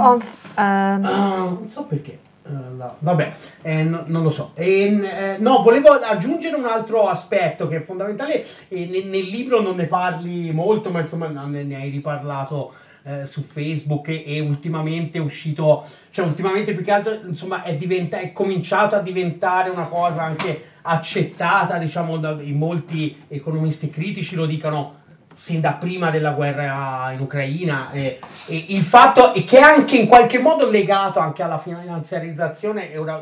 con un piccolo volo pindarico ma che in realtà ha, ha molta base materiale. E sostanzialmente quello che, che insomma noi diciamo da un bel po' è emerso ormai abbastanza incontrovertibile, eh, dati diciamo sui profitti delle aziende Fortune 500 del 2022 eh, sostanzialmente cioè, l'altro fattore diciamo di speculazione che c'è stato sull'inflazione è che sostanzialmente diciamo le aziende e, e, e qui proprio ci si rende conto di quanto le regolette che ci insegnano su come funziona il mercato col mercato concreto come del tardo capitalismo non c'entrano proprio niente, per cui eh, all'aumento della spinta sui prezzi dei fattori, degli input produttivi, le aziende invece che appunto diminuire eh, le, ehm, i margini di profitto hanno aumentato ancora ulteriormente i prezzi degli output e si sono garantiti un margine di profitto che fino ad oggi, cioè record, ecco se prendiamo la, l'aggregato di Fortune 500, record per, da,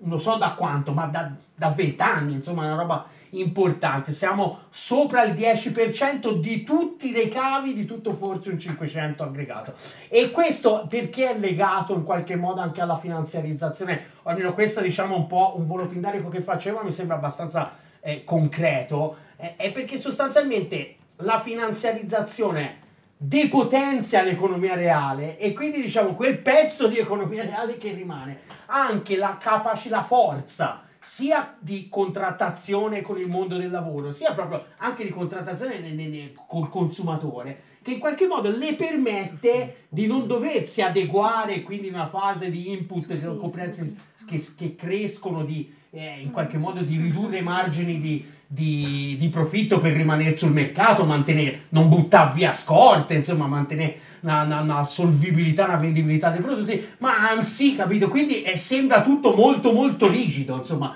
questa esplosione della finanza che dovrebbe portare a, a tutto estremamente mobile e estremamente, diciamo, adattabile alle, alle regole auree del mercato, in realtà si scopre che è tutto estremamente rigido, no? E quindi c'è questo fenomeno qua per cui appunto la gente in piena uh, inflazione eh, aumenta i profitti a dismisura. Questo legame qua tra le due cose, secondo te è un po' una cazzata che dico io o ce lo vedi? Insomma, è una... No, ma è, è assolutamente realistico. Penso che ci sia un dato che è un dato finanziario, è, è abbastanza evidente, cioè la finanziarizzazione favorisce la concentrazione dei sistemi produttivi e dei settori produttivi. Cioè questo è abbastanza chiaro, cioè la finanziarizzazione ha prodotto il dissesto di una serie di micro e nano aziende ha favorito, perché poi appunto l'indice di cui tu fai riferimento ha a che fare con aziende di dimensioni significative, società di dimensioni significative e quindi questo tipo di logica finanziarizzazione che porta con sé l'instabilità, che porta con sé eh, l'aumento del costo del denaro come è stato nel corso degli ultimi eh, due anni, ha frantumato un'enorme quantità di microaziende, favorendo la concentrazione. Poi c'è il tema, anche qui sarebbe da citare sempre la questione eh, Banca Italia, il tema del fatto che eh, larga parte, questo in maniera strutturale, lo sappiamo bene, larga parte diciamo così, il contenimento dei costi si riversa sull'abbattimento ulteriore del costo del lavoro, sulla moltiplicazione delle tipologie contrattuali, sulla moltiplicazione dei contratti di tipo appunto precario e, e quindi anche da questo punto di vista certamente una situazione che eh, ha fatto sì che nonostante l'inflazione i profitti abbiano continu- continuato a crescere, soprattutto dei gruppi, torno a dire, che hanno beneficiato di questo tipo di, di, andamenti, penso agli energetici, penso al sistema bancario, penso ad alcune grandi aziende che hanno, come dire, eh, contenuto la struttura dei loro costi e hanno eliminato una parte della concorrenza o hanno imposto alle filiere produttive che le sostenevano delle condizioni decisamente molto più, molto più sfavorevoli. Cioè non dimentichiamoci anche questo, che l'aumento dell'inflazione ha fatto sì che nella catena della produzione del valore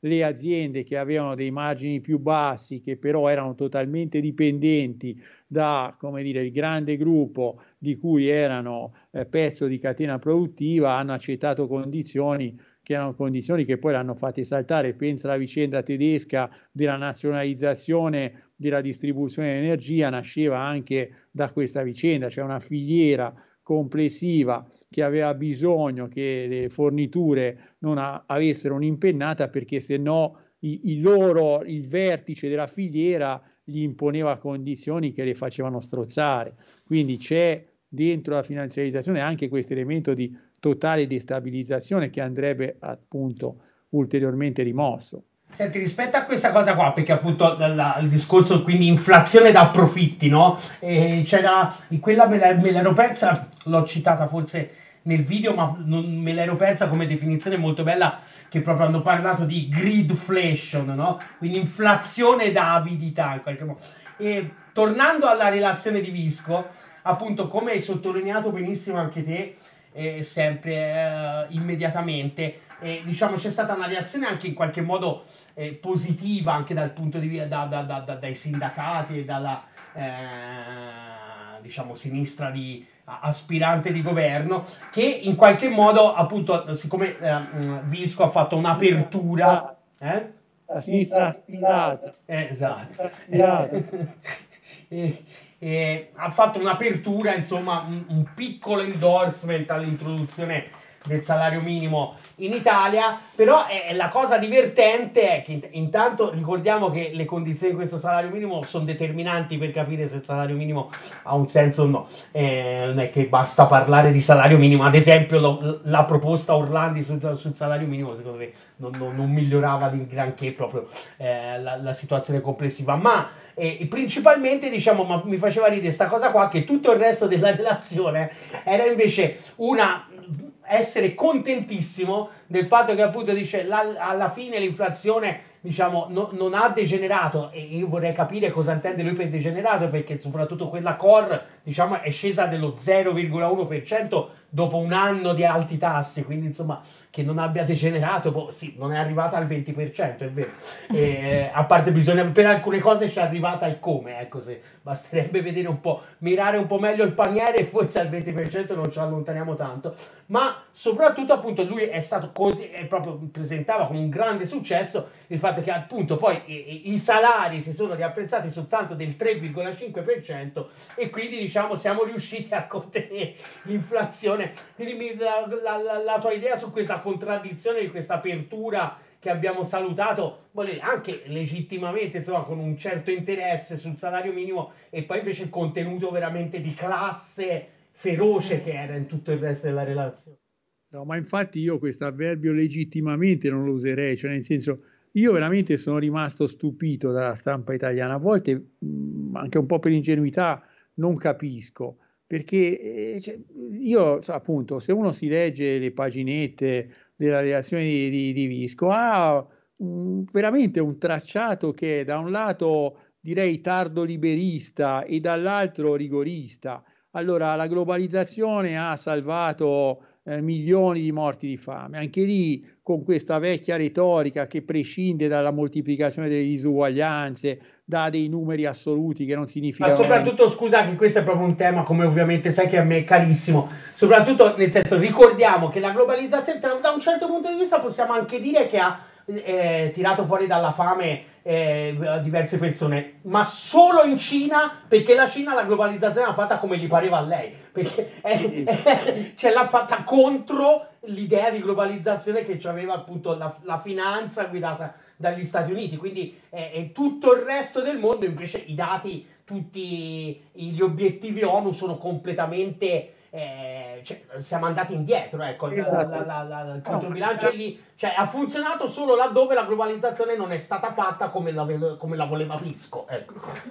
Ma secondo me tutta la relazione di Visco dimentica il tema della disuguaglianza, che è il tema pregnante, e mi colpisce che siccome fa un accenno così en passant, tra l'altro anche un po' appunto, dici tu, superficiale al salario minimo, diventi un guru della sinistra, addirittura ipotetico leader di una sinistra più o meno moderata. Cioè, la relazione è chiara, la globalizzazione è un fenomeno, ha funzionato in maniera fenomenale. Ci dimentichiamo la crisi del 2008, la crisi del 2011, ci dimentichiamo la Grecia, ci dimentichiamo tutto. È un formidabile motore di sviluppo. La Banca Centrale Europea sì, poteva, insomma, forse, però ha fatto bene, non bisogna, i tassi vanno tenuti alti perché c'è l'inflazione. Un'analisi su che cosa sia stata questa inflazione non c'è. Eh, è, come tu dicevi prima, l'inflazione alla fine un po' è stata contenuta e mi devi spiegare anche lì appunto dove, perché come dicevi tu prima, il tema non è tanto quali panieri, è quali fasce sociali, perché noi sappiamo che in Italia l'inflazione per le fasce di reddito più basse è ampiamente sopra il 20%, quindi evidentemente anche lì trascurando disuguaglianze e numeri reali. E poi questa espressione infelicissima che grazie, perché usa questa espressione, grazie al fatto che in Italia ci sono dei meccanismi di indicizzazione molto limitati, non si è determinato il fenomeno sp- spirale salari-inflazione. Cioè, come dire, gli italiani stanno morendo di fame, lo Stato italiano ha erogato decine di miliardi di soldi che potevano essere destinati a fare altre cose per fronteggiare l'aumento dei prezzi determinato dall'inflazione speculativa e il buon Visco ci dice che è andata bene perché se gli italiani avessero guadagnato un pochino di più, l'inflazione sarebbe stata un disastro. Grazie al fatto che gli italiani sono rimasti più poveri, hanno preso le bastonate dall'inflazione, alla fine della fiera eh, le cose sono andate discretamente. In più, lo stesso Visco dice che poco, poco prima di citare il riferimento al salario minimo, dice che i contratti atipici sono quelli che hanno consentito di allargare la base dell'occupazione e quindi di svolgere una funzione anticiclica. Ora, oggettivamente, se c'è una cosa che sappiamo è che è sparita o largamente ridimensionata la domanda interna, i consumi interni, sono peggiorate le disuguaglianze, è aumentato il numero della povertà, sono aumentati i numeri dei lavoratori poveri. Beh, ora che questo possa essere interpretato come un testo, non dico di sinistra, ma vagamente di centro, già mi preoccupa perché ci sono tutti gli elementi ridondanti e ricorrenti di una lettura che è una lettura molto tradizionale di tipo, torna a dire, liberista e rigorista. Tra l'altro lui stesso dice che l'unica chance che ha l'Italia è il PNRR perché di debito non ne può far più, perché lui è uno di quelli che dice abbiamo esagerato col debito, quindi affidiamoci al totem, alla panacea del eh, del, del, del PNRR e non rompiamo troppo le scatole all'Europa. Cioè io ho trovato veramente la dimostrazione anche di una sudditanza, perché poi io che sono un grande ammiratore della storia della Banca d'Italia, l'ho anche studiata, cioè, la Banca d'Italia ha avuto anche dei grandissimi governatori in momenti particolari, penso a Bonaldo Stringer che ha vissuto e ha convissuto anche con una parte del fascismo, penso per certi versi persino a Menichella, cioè, ma voglio dire, eh, per, per, certi versi allo stesso Luigi Einaudi che per il po' che ha svolto quella funzione, penso a, a, a, a realtà insomma come lo stesso Baffi, cioè, alla fine ora siamo arrivati a una celebrazione di un signore che peraltro non governa e non regola il sistema bancario di una certa dimensione perché lì ci pensa la BCE, non ha più nessuna chance di intervenire perché dopo il divorzio della Banca d'Italia non ha nessuna regola di intervento sul piano della politica monetaria e, e pontifica sostenendo che eh, questo tipo di modello di sviluppo economico che stiamo seguendo e che l'Europa segue alla fine è un modello economico che eh, funziona e è meglio non disturbarlo troppo. Cioè, ora, l'accoppiata Visco, permettetemi un po' anche gentiloni, mi sembra che ci stiamo portando a una dimensione che, che di, di, di, rapporti con l'Europa che è veramente molto, molto sudditanza e, e, e, e torno a dire, mi stupisco che i giornali italiani presentino questa roba come vedi anche Visco è per il salario minimo, cioè mi, mi sembra una eh, dimostrazione di quanto ci sia una narrazione che è una narrazione in parte eh, ignorante, se mi passi il termine, in parte dichiaratamente prevenuta, perché è, ovvio che se lo spazio di sinistra lo occupa Ignazio Visco è, è abbastanza difficile riuscire a, a, a, capire in quale direzione ci si, può, ci si può muovere, eppure la sua è stata una glorificazione eh, i 12 anni di mandato giudicati nell'insieme positivamente, dimenticandosi tutto quello che è successo durante questi 12 anni, che non sono stati certamente 12 anni, diciamo così, lodevoli dal punto di vista del pur limitato ruolo della Banca, della Banca d'Italia. Però questo è il quadro, è questo tipo di narrazione. Tra l'altro è interessante la parte che lui dedica al sistema bancario e al sistema delle assicurazioni, dove lui dice c'è qualche criticità, ma in fondo queste criticità sono superabili se, lo dicevi anche tu questo, se aumentiamo il tasso di finanziarizzazione, cioè se rendiamo, come dire, più finanziarizzate le banche e le assicurazioni, col famoso ragionamento anche dei fondi di pensione e dei fondi di previdenza, alla fine staranno meglio anche loro, come dire, risparmio gestito va in quella direzione che eh, stiamo tutti meglio, come dire. E poi ci aggiungo, eh, il fatto che sulle, su, sul tema fiscale alla fine si è limitato a dire molto vagamente che forse la flat tax, forse è meglio non farla. Insomma, ecco, manca totalmente il tema delle disuguaglianze e, e mi sembra abbastanza evidente che questo sia un, un'impostazione, come si diceva prima, di tipo liberista. Vale? Sì, l'ultimo capitolo del tuo libro si intitola Cosa non fare e cosa fare. E a questo proposito Mary da Twitch ti chiede quale sarebbe un'istituzione che potrebbe intervenire affinché si riagganci la finanza all'economia reale. Secondo te basterebbe un'indicazione da parte della Commissione europea e del Parlamento europeo o noi come Unione europea non possiamo, non vogliamo agire in qualsiasi direzione per risolvere? Ma io penso che ci siano due o tre cose da non fare. La prima è questa politica della Banca Centrale Europea che mi sembra. Ora sento che Panetta, forse perché vuole diventare il sostituto di Visco, Panetta, l'economista che ha la BCE, sta eh, cominciando a dire, forse perché vuole compiacere un po' lo stesso governo italiano, sta cominciando a dire, beh, ora forse sarebbe il caso di smetterla con questi aumenti dei tassi di interesse. Ecco, dovremmo smetterla e dovremmo smetterla per un dato molto banale, perché questo aumento dei tassi sta sfasciando lo Stato sociale, perché noi avremo un costo di interessi che non ci farà più finanziare la spesa pubblica, sanità, scuola, perché 100 miliardi, come sono previsti, di eh, interessi sul debito al 2025 vorrà dire che inevitabilmente si ridurranno, come c'è scritto nel DEF, i finanziamenti alla sanità pubblica e via dicendo. Quindi i tassi di interesse noi abbiamo il tasso di interesse al 3,75 e abbiamo un euro fortissimo,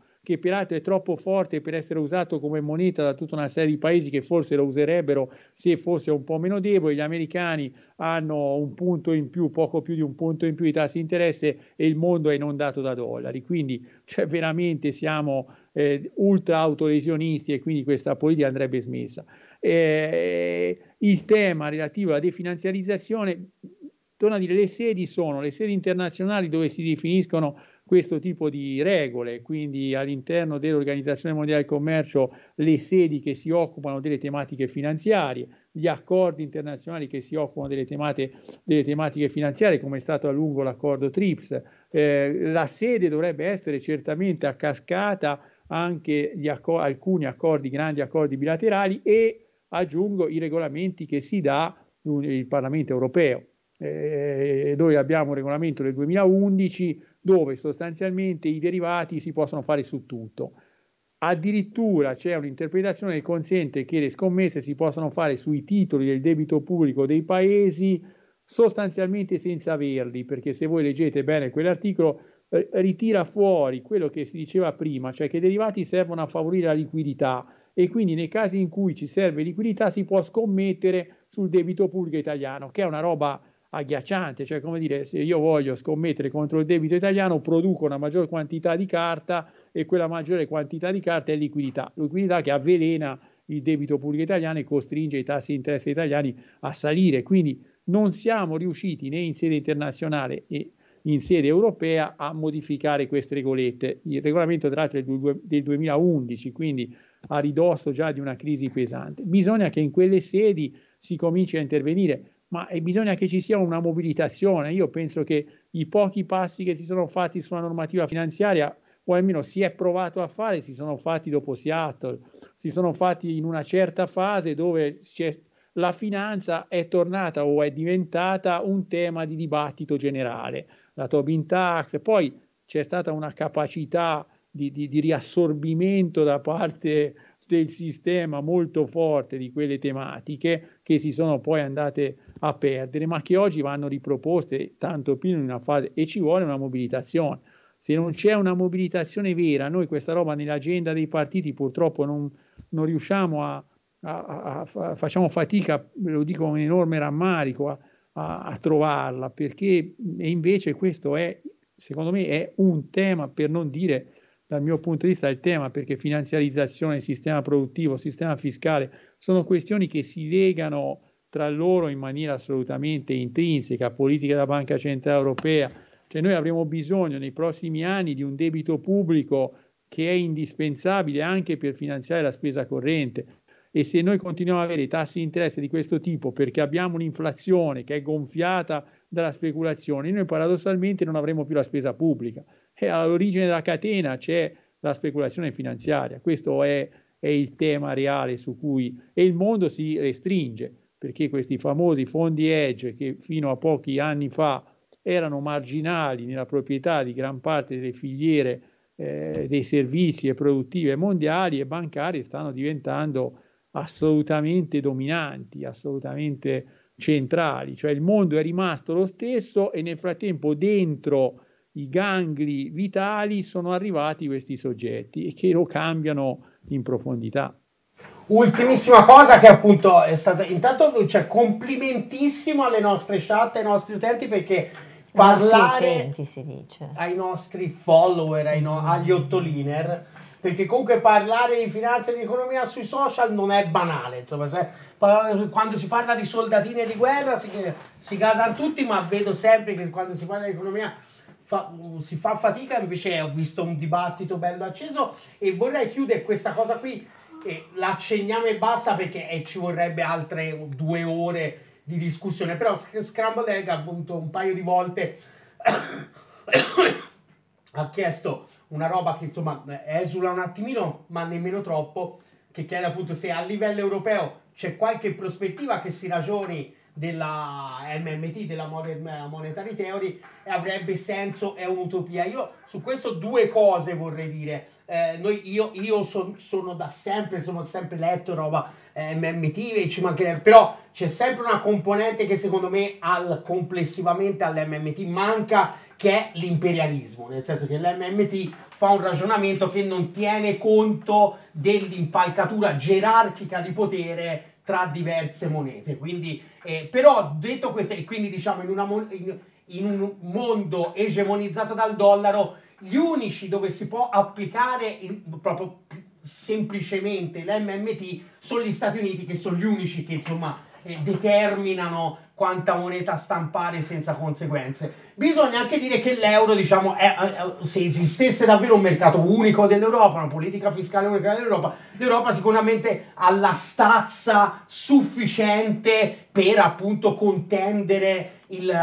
eh, eh, appunto l'egemonia al dollaro e comunque ritagliarsi uno spazio anche magari anche inferiore a quello del dollaro, però insomma non, non avrebbe problemi di finanziabilità. Però qui si entra un po' secondo me in un tema anche geopolitico, nel senso che per fare questa cosa qua e, e, l'euro, l'Europa dovrebbe politicamente anche politicamente perché le monete hanno cioè, diciamo la parte di istituzionalizzazione dei rapporti politici è fondamentale poi c'è il mercato che fa anche un po' come cazzo gli pare infatti l'euro si usa non è che non si usa eh, con tutti i limiti che ha detto Alessandro però insomma se, se, uh, si usa abbastanza come moneta di riserva un pochino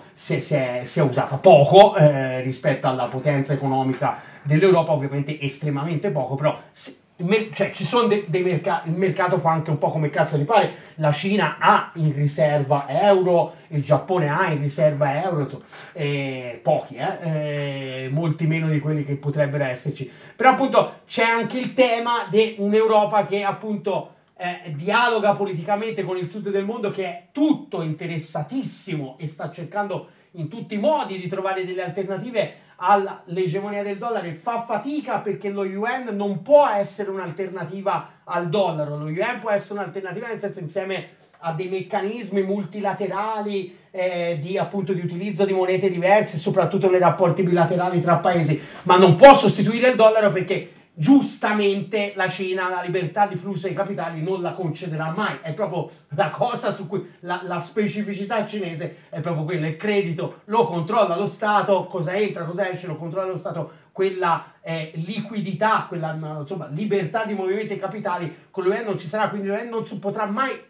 per come è fatto sostituire. Quindi diciamo eh, rispetto a questa domanda qua dell'MMT è, è importante tenere sempre conto del fatto che comunque il capitalismo avanzato è, imperialismo comunque e, e ehm, l'altra cosa è questo è molto importante questa, la, la, la, possibilità questa cosa necessità di permettere all'euro di essere una moneta eh, utilizzabile nel mercato mondiale tanto quanto il dollaro. Sarebbe proprio essenziale proprio come meccanismo di eh,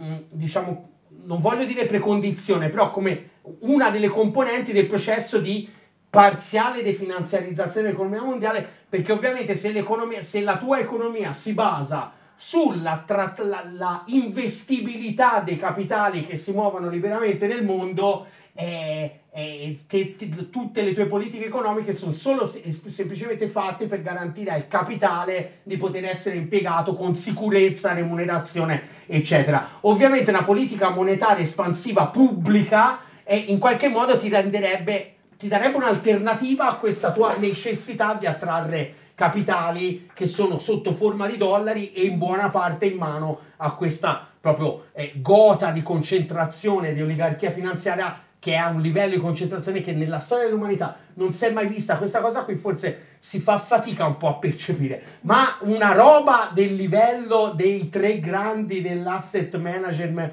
eh, dei fondi di asset, eh, dell'asset manager eh, capitalism, che sono appunto no? eh, Vanguard, Blake, BlackRock e State Street, che è già un po' più piccolina, ma è sempre enorme. Cioè, è una roba che di queste dimensioni qui non si è mai vista nella storia dell'umanità. È una roba che c'è da, non da 600 anni, è una roba che c'è da 15, da 12 anni a questi livelli qua. Sì, sì, no, ma hai già detto tutto tu, quindi guarda, sono, sono stato ad ascoltare con assoluta eh, religiosa attenzione. No, no, è così. Eh, due considerazioni proprio marginali. La prima è questa che non rientra nel, nel tema monetario in senso stretto, ma anch'io penso che vada sottolineato questo fatto che ci stiamo perdendo, perché io giro un po' e provi a parlare anche in incontri pubblici cioè il fatto che il mondo sia concentrato veramente nelle mani di pochissimi gruppi che nel giro di pochissimi anni hanno assunto un rilievo così marcato e così decisivo è un fatto storicamente nuovo con cui anche gli studi economici dovrebbero misurarci, ma, misurarsi, ma anche la dimensione storica in senso stretto, cioè non, non, è possibile che se uno si mette lì una sera e prova a cercare chi sono i principali azionisti delle 100, 200, 300 società più rilevanti del mondo, trova che al primo e al secondo posto ci sono sempre i soliti soggetti che sono nomi peraltro che non dicono niente alla stragrande maggioranza dei, dei, diciamo, dei, dei, dei cittadini di questo mondo, perché chi è Steve Jobs lo sanno, chi è eh, Bill Gates lo sanno, in realtà chi è dietro Vanguard, chi è l'amministratore, il CEO di Vanguard o di BlackRock sono cose poco conosciute, si arriva a Demon per JP Morgan, ma ripeto, stiamo parlando di eh, il vero cuore, è lì il cuore eh, sulla moneta, ma la moneta mh, certamente il tema è quello che diceva eh, che te dicevi tu Giuliano, cioè, cioè, alla fine il vero tema è che la moneta è impero. C'è un bellissimo libro di Marcello De Cecco che si chiama Moneta Impero, che è dedicato alla dimostrazione, insomma, De è stato un grandissimo storico, che sostanzialmente fa vedere come il, la, la, tenuta della sterlina dipendesse dal fatto che gli inglesi occupavano l'India e occupando l'India disponevano delle risorse che erano le risorse necessarie per dare credito alla loro sterlina. Io penso che in questo momento nel mondo stia succedendo una cosa molto simile. Gli Stati Uniti hanno bisogno come non mai del dollaro, come non mai perché sanno che dovranno produrne a quantità inenarrabili, sanno che dovranno far fronte a tassi di interesse non facilmente sostenibili, quindi hanno bisogno, la banalizzo, che il loro essere grande potenza venga vissuto come se fosse un impero globale. E non, non, non si scappa, ma questo c'è un vincolo monetario, proprio perché il dollaro in questo momento è la vera forza il vero motore trainante dell'economia americana, il prodotto più importante dell'economia americana perché come dicevi tu prima non è sostituibile da nessun'altra moneta. L'euro ha fallito e sta fallendo clamorosamente. Noi vediamo i dati e, e il volume complessivo delle riserve monetarie mondiali, il 66% è in dollari. E il resto sono l'euro arriva al 20% scarso, una roba così, poi c'è un po' di yen, un po' di tutto poi ci sono le, il bilancia commerciale è fatto per l'80 e fischia per cento in dollari, la bilancia dei pagamenti per l'88%. Cioè è evidente che il volume dell'euro si concentra sugli scambi fatti fra paesi che sono nell'area euro, che non vuol, peraltro neanche tutti, che non vuol dire che tu sei una valuta internazionale. La valuta internazionale è quella roba lì, è la valuta che viene usata dal resto del mondo e, e, e questo momento è, il dollaro sta giocando quella partita perché sente scricchiolare alcune cose, perché questa, lo dicevo prima, non voglio fare eh, come dire, l'ipotesi di complotto, il film di Mel Gibson, cioè, però il tema, come dire, c'è un dato oggettivo che questi grandi gruppi sono in grado di destabilizzare persino in larga misura la tenuta quantomeno dei titoli di Stato americani, che è un modo per mandare un messaggio al dollaro. E allora gli americani, cioè la,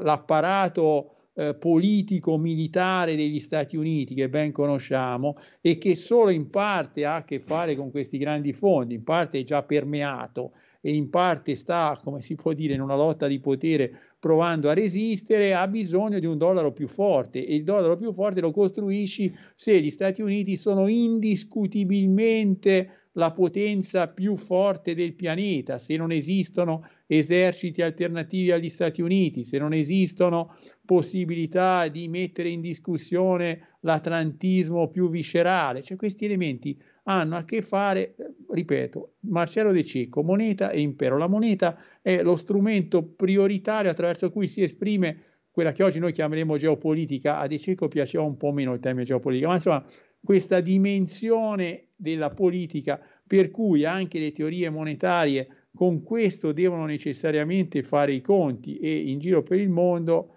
in questo momento c'è una fortissima tendenza da parte della presidenza Biden, ma eh, da qualunque presidenza americana di eh, definire la forza del dollaro per arrivare a un confronto reale con i grandi, con i grandi fondi. Io la vedo così, cioè vedo, e del resto la vicenda del tetto al debito degli Stati Uniti è una vicenda esemplare perché è stata veicolata attraverso le scommesse sull'andamento del debito americano e sull'andamento del prezzo del debito e sulla, eh, sul rating da attribuire ai titoli del debito pubblico americano. E lì la partita è una partita veramente eh, dura e, e, e, ruvida che va oltre gli schieramenti democratici eh, e repubblicani. Quindi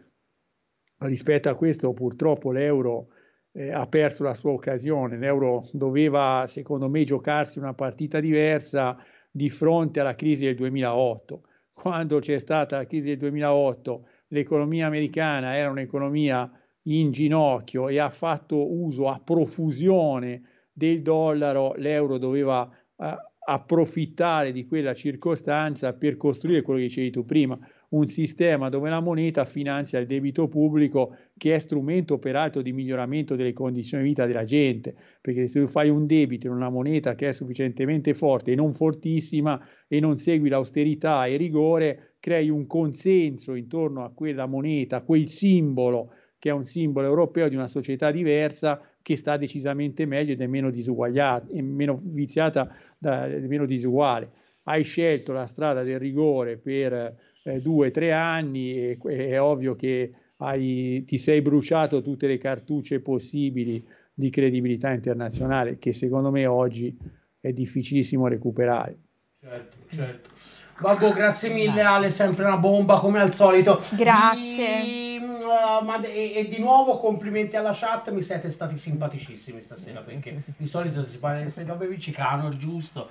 Ma no, ma è forza no, di seguirci. Soldato sì, Linico sì, sì, ha sì, no, tirato no, fuori Marco Rizzo. Sono, molto, sono molto contento. Non sottovalutare e, i tuoi follow, i nostri follower. e vi volevo dire, domattina eh, rassegna stramba alle 9 facciamo collegamento con Sicovas di Prato dove c'è una mobilitazione molto interessante a modo convenienza dove eh, insomma c'è stato un po' di, di repressione dura e pura e quindi mm. diciamo ne parliamo un pochino con loro perché appunto ho visto solo i titoli eccetera uh, comunque uh, co- co- cercheremo nel futuro di fare Gli un po' unici streamer che insultano i follower. Ma infatti cioè te hai visto che Chiara Ferragni che insulta ma i suoi follower ma ho detto che sono bravissimi detto ma hai detto la di no nel web ti guardi la roba cioè nel senso o parli di investimento il bulgaro roba... in aereo la domenica sì eh, c'era anche c'era qualche problema di, di sciopero, sciopero però da giusto così. Finché, finché c'è sciopero c'è speranza, diciamo. Grazie ancora Ale, ovviamente Alessandro sarà la nostra superstar della festa. Eh, gio, eh, sarà detto giovedì? Giovedì, sì, giovedì. giovedì. giovedì. perché allora la festa sì, ancora stiamo, stiamo uh, definendo, però sostanzialmente eh, cercheremo di farlo in modo un po' leggero, non di, fa, di, di, di essere rompicoglioni al massimo, Saluto però sostanzialmente sarà giovedì ehm, principalmente tema economia, eccetera, con appunto Ale star della serata e dirò un po' di cazzate anch'io, faremo anche un po' di giochini, insomma, eh, e poi venerdì invece più politica internazionale, eccetera, c'è il bulgaro, eccetera. Sabato quizzone, mega quizzone di Otto Sofia, preparatevi perché ah, sarà ecco. bellino. E poi domenica, perché si vuole affermare, non c'è più la festa, domenica c'è una riunione, assemblea aperta stati generali della controinformazione. E il soldato ti dico, qua ti vogliamo perché tu sei appena scritto, io sono qui solo per cazzeggiare, tanto sono ricca di famiglia. Esatto, perfetto. Quindi puoi venire anche domenica. Esatto. Domenica appunto da, praticamente da, dalla mattina, poi un pranzo veloce lì, poi al primo pomeriggio si farà un po' una riunione per cercare di attivare un po' di cose nuove per l'anno nuovo con Ottolina, ok? Quindi ci vediamo domattina. Ah, no, e, e sai, Alessandro, qua addirittura chiedono se traduci il libro in spagnolo. In spagnolo. Eh. a sentire la terza, a sentire la terza. Devo dire che loro ci hanno creduto molto, quindi può darsi che lo facciano, non lo so, non lo so, vedremo. Bene, bene. Eh, sì, sì, ma cioè, quello lì è un testo che, che farebbe bene assolutamente, almeno in tutta Europa di sicuro. Va buono, grazie, Grazie come mille. sempre. Grazie. Ciao. E C'è grazie mondo- a tutti, buonanotte. C'è Mondocina. Domani c'è Mondocina, assolutamente sì, domani Mondocina alla grande. E mercoledì 8 Sofia con... Con Letizia. No, io faccio il pippone, ma Obel su con l'ultimo li- Ah sì, libro. assolutamente, è mercoledì 8 Sofia Su- che so che voi apprezzerete molto perché Eh, è su L'ultimo libro di edito insomma, di, Lo Su- su- di Lo Surdo, La questione comunista. Eh, ci sarà mh, ad intervistare Grimaldi, che è il curatore del, del testo. che non è Fulvio che abbiamo conosciuto. Dai, io l'avevo già conosciuto, zitto. No, anche l'avevo già conosciuto, ma è sempre uno spettacolo, una roba Però come ha detto la mia amica Elena c'era anche Nando e gli ho detto chi è Nando? Eh, no, il suo più- cane. non c'è più da o era a tanto, fare no. rafting. non c'è più da tanto, Nando. Madonna mia ragazzi. Quindi Dove ti mercoledì, giri, ti giri. mercoledì con Comunque io non ho offeso i nostri follower, io ho dato veramente vi ho fatto un sacco di complimenti. Però effettivamente, no, posso dire questa cosa, io non voglio offendere, però oggi rispetto ad altre puntate della bolla avete eh, fatto domande agli ospiti, perché molto spesso, almeno su Twitch, Sì, cosa, vi un po' incartate un po' vostri, sì. su e io Italia Sovrana e quell'altro, eh, più che altro ci avete il mito di Rizzo, raga, sempre Rizzo, alla fine... No, è che sono in Che Letizia c'hanno ha avuto l'onore di conoscere dal vivo. No, sì, vabbè, oggi. noi Rizzo si conosce da 30 anni. Sì, sì, no, no, ma no, l'ho rivisto ieri dal vivo, ecco. Ciao a tutti, buonanotte. Notte, Ciao, ciao, ciao, buonanotte. ciao, ciao. Ora sei invidiatissima da quelli di Twitch.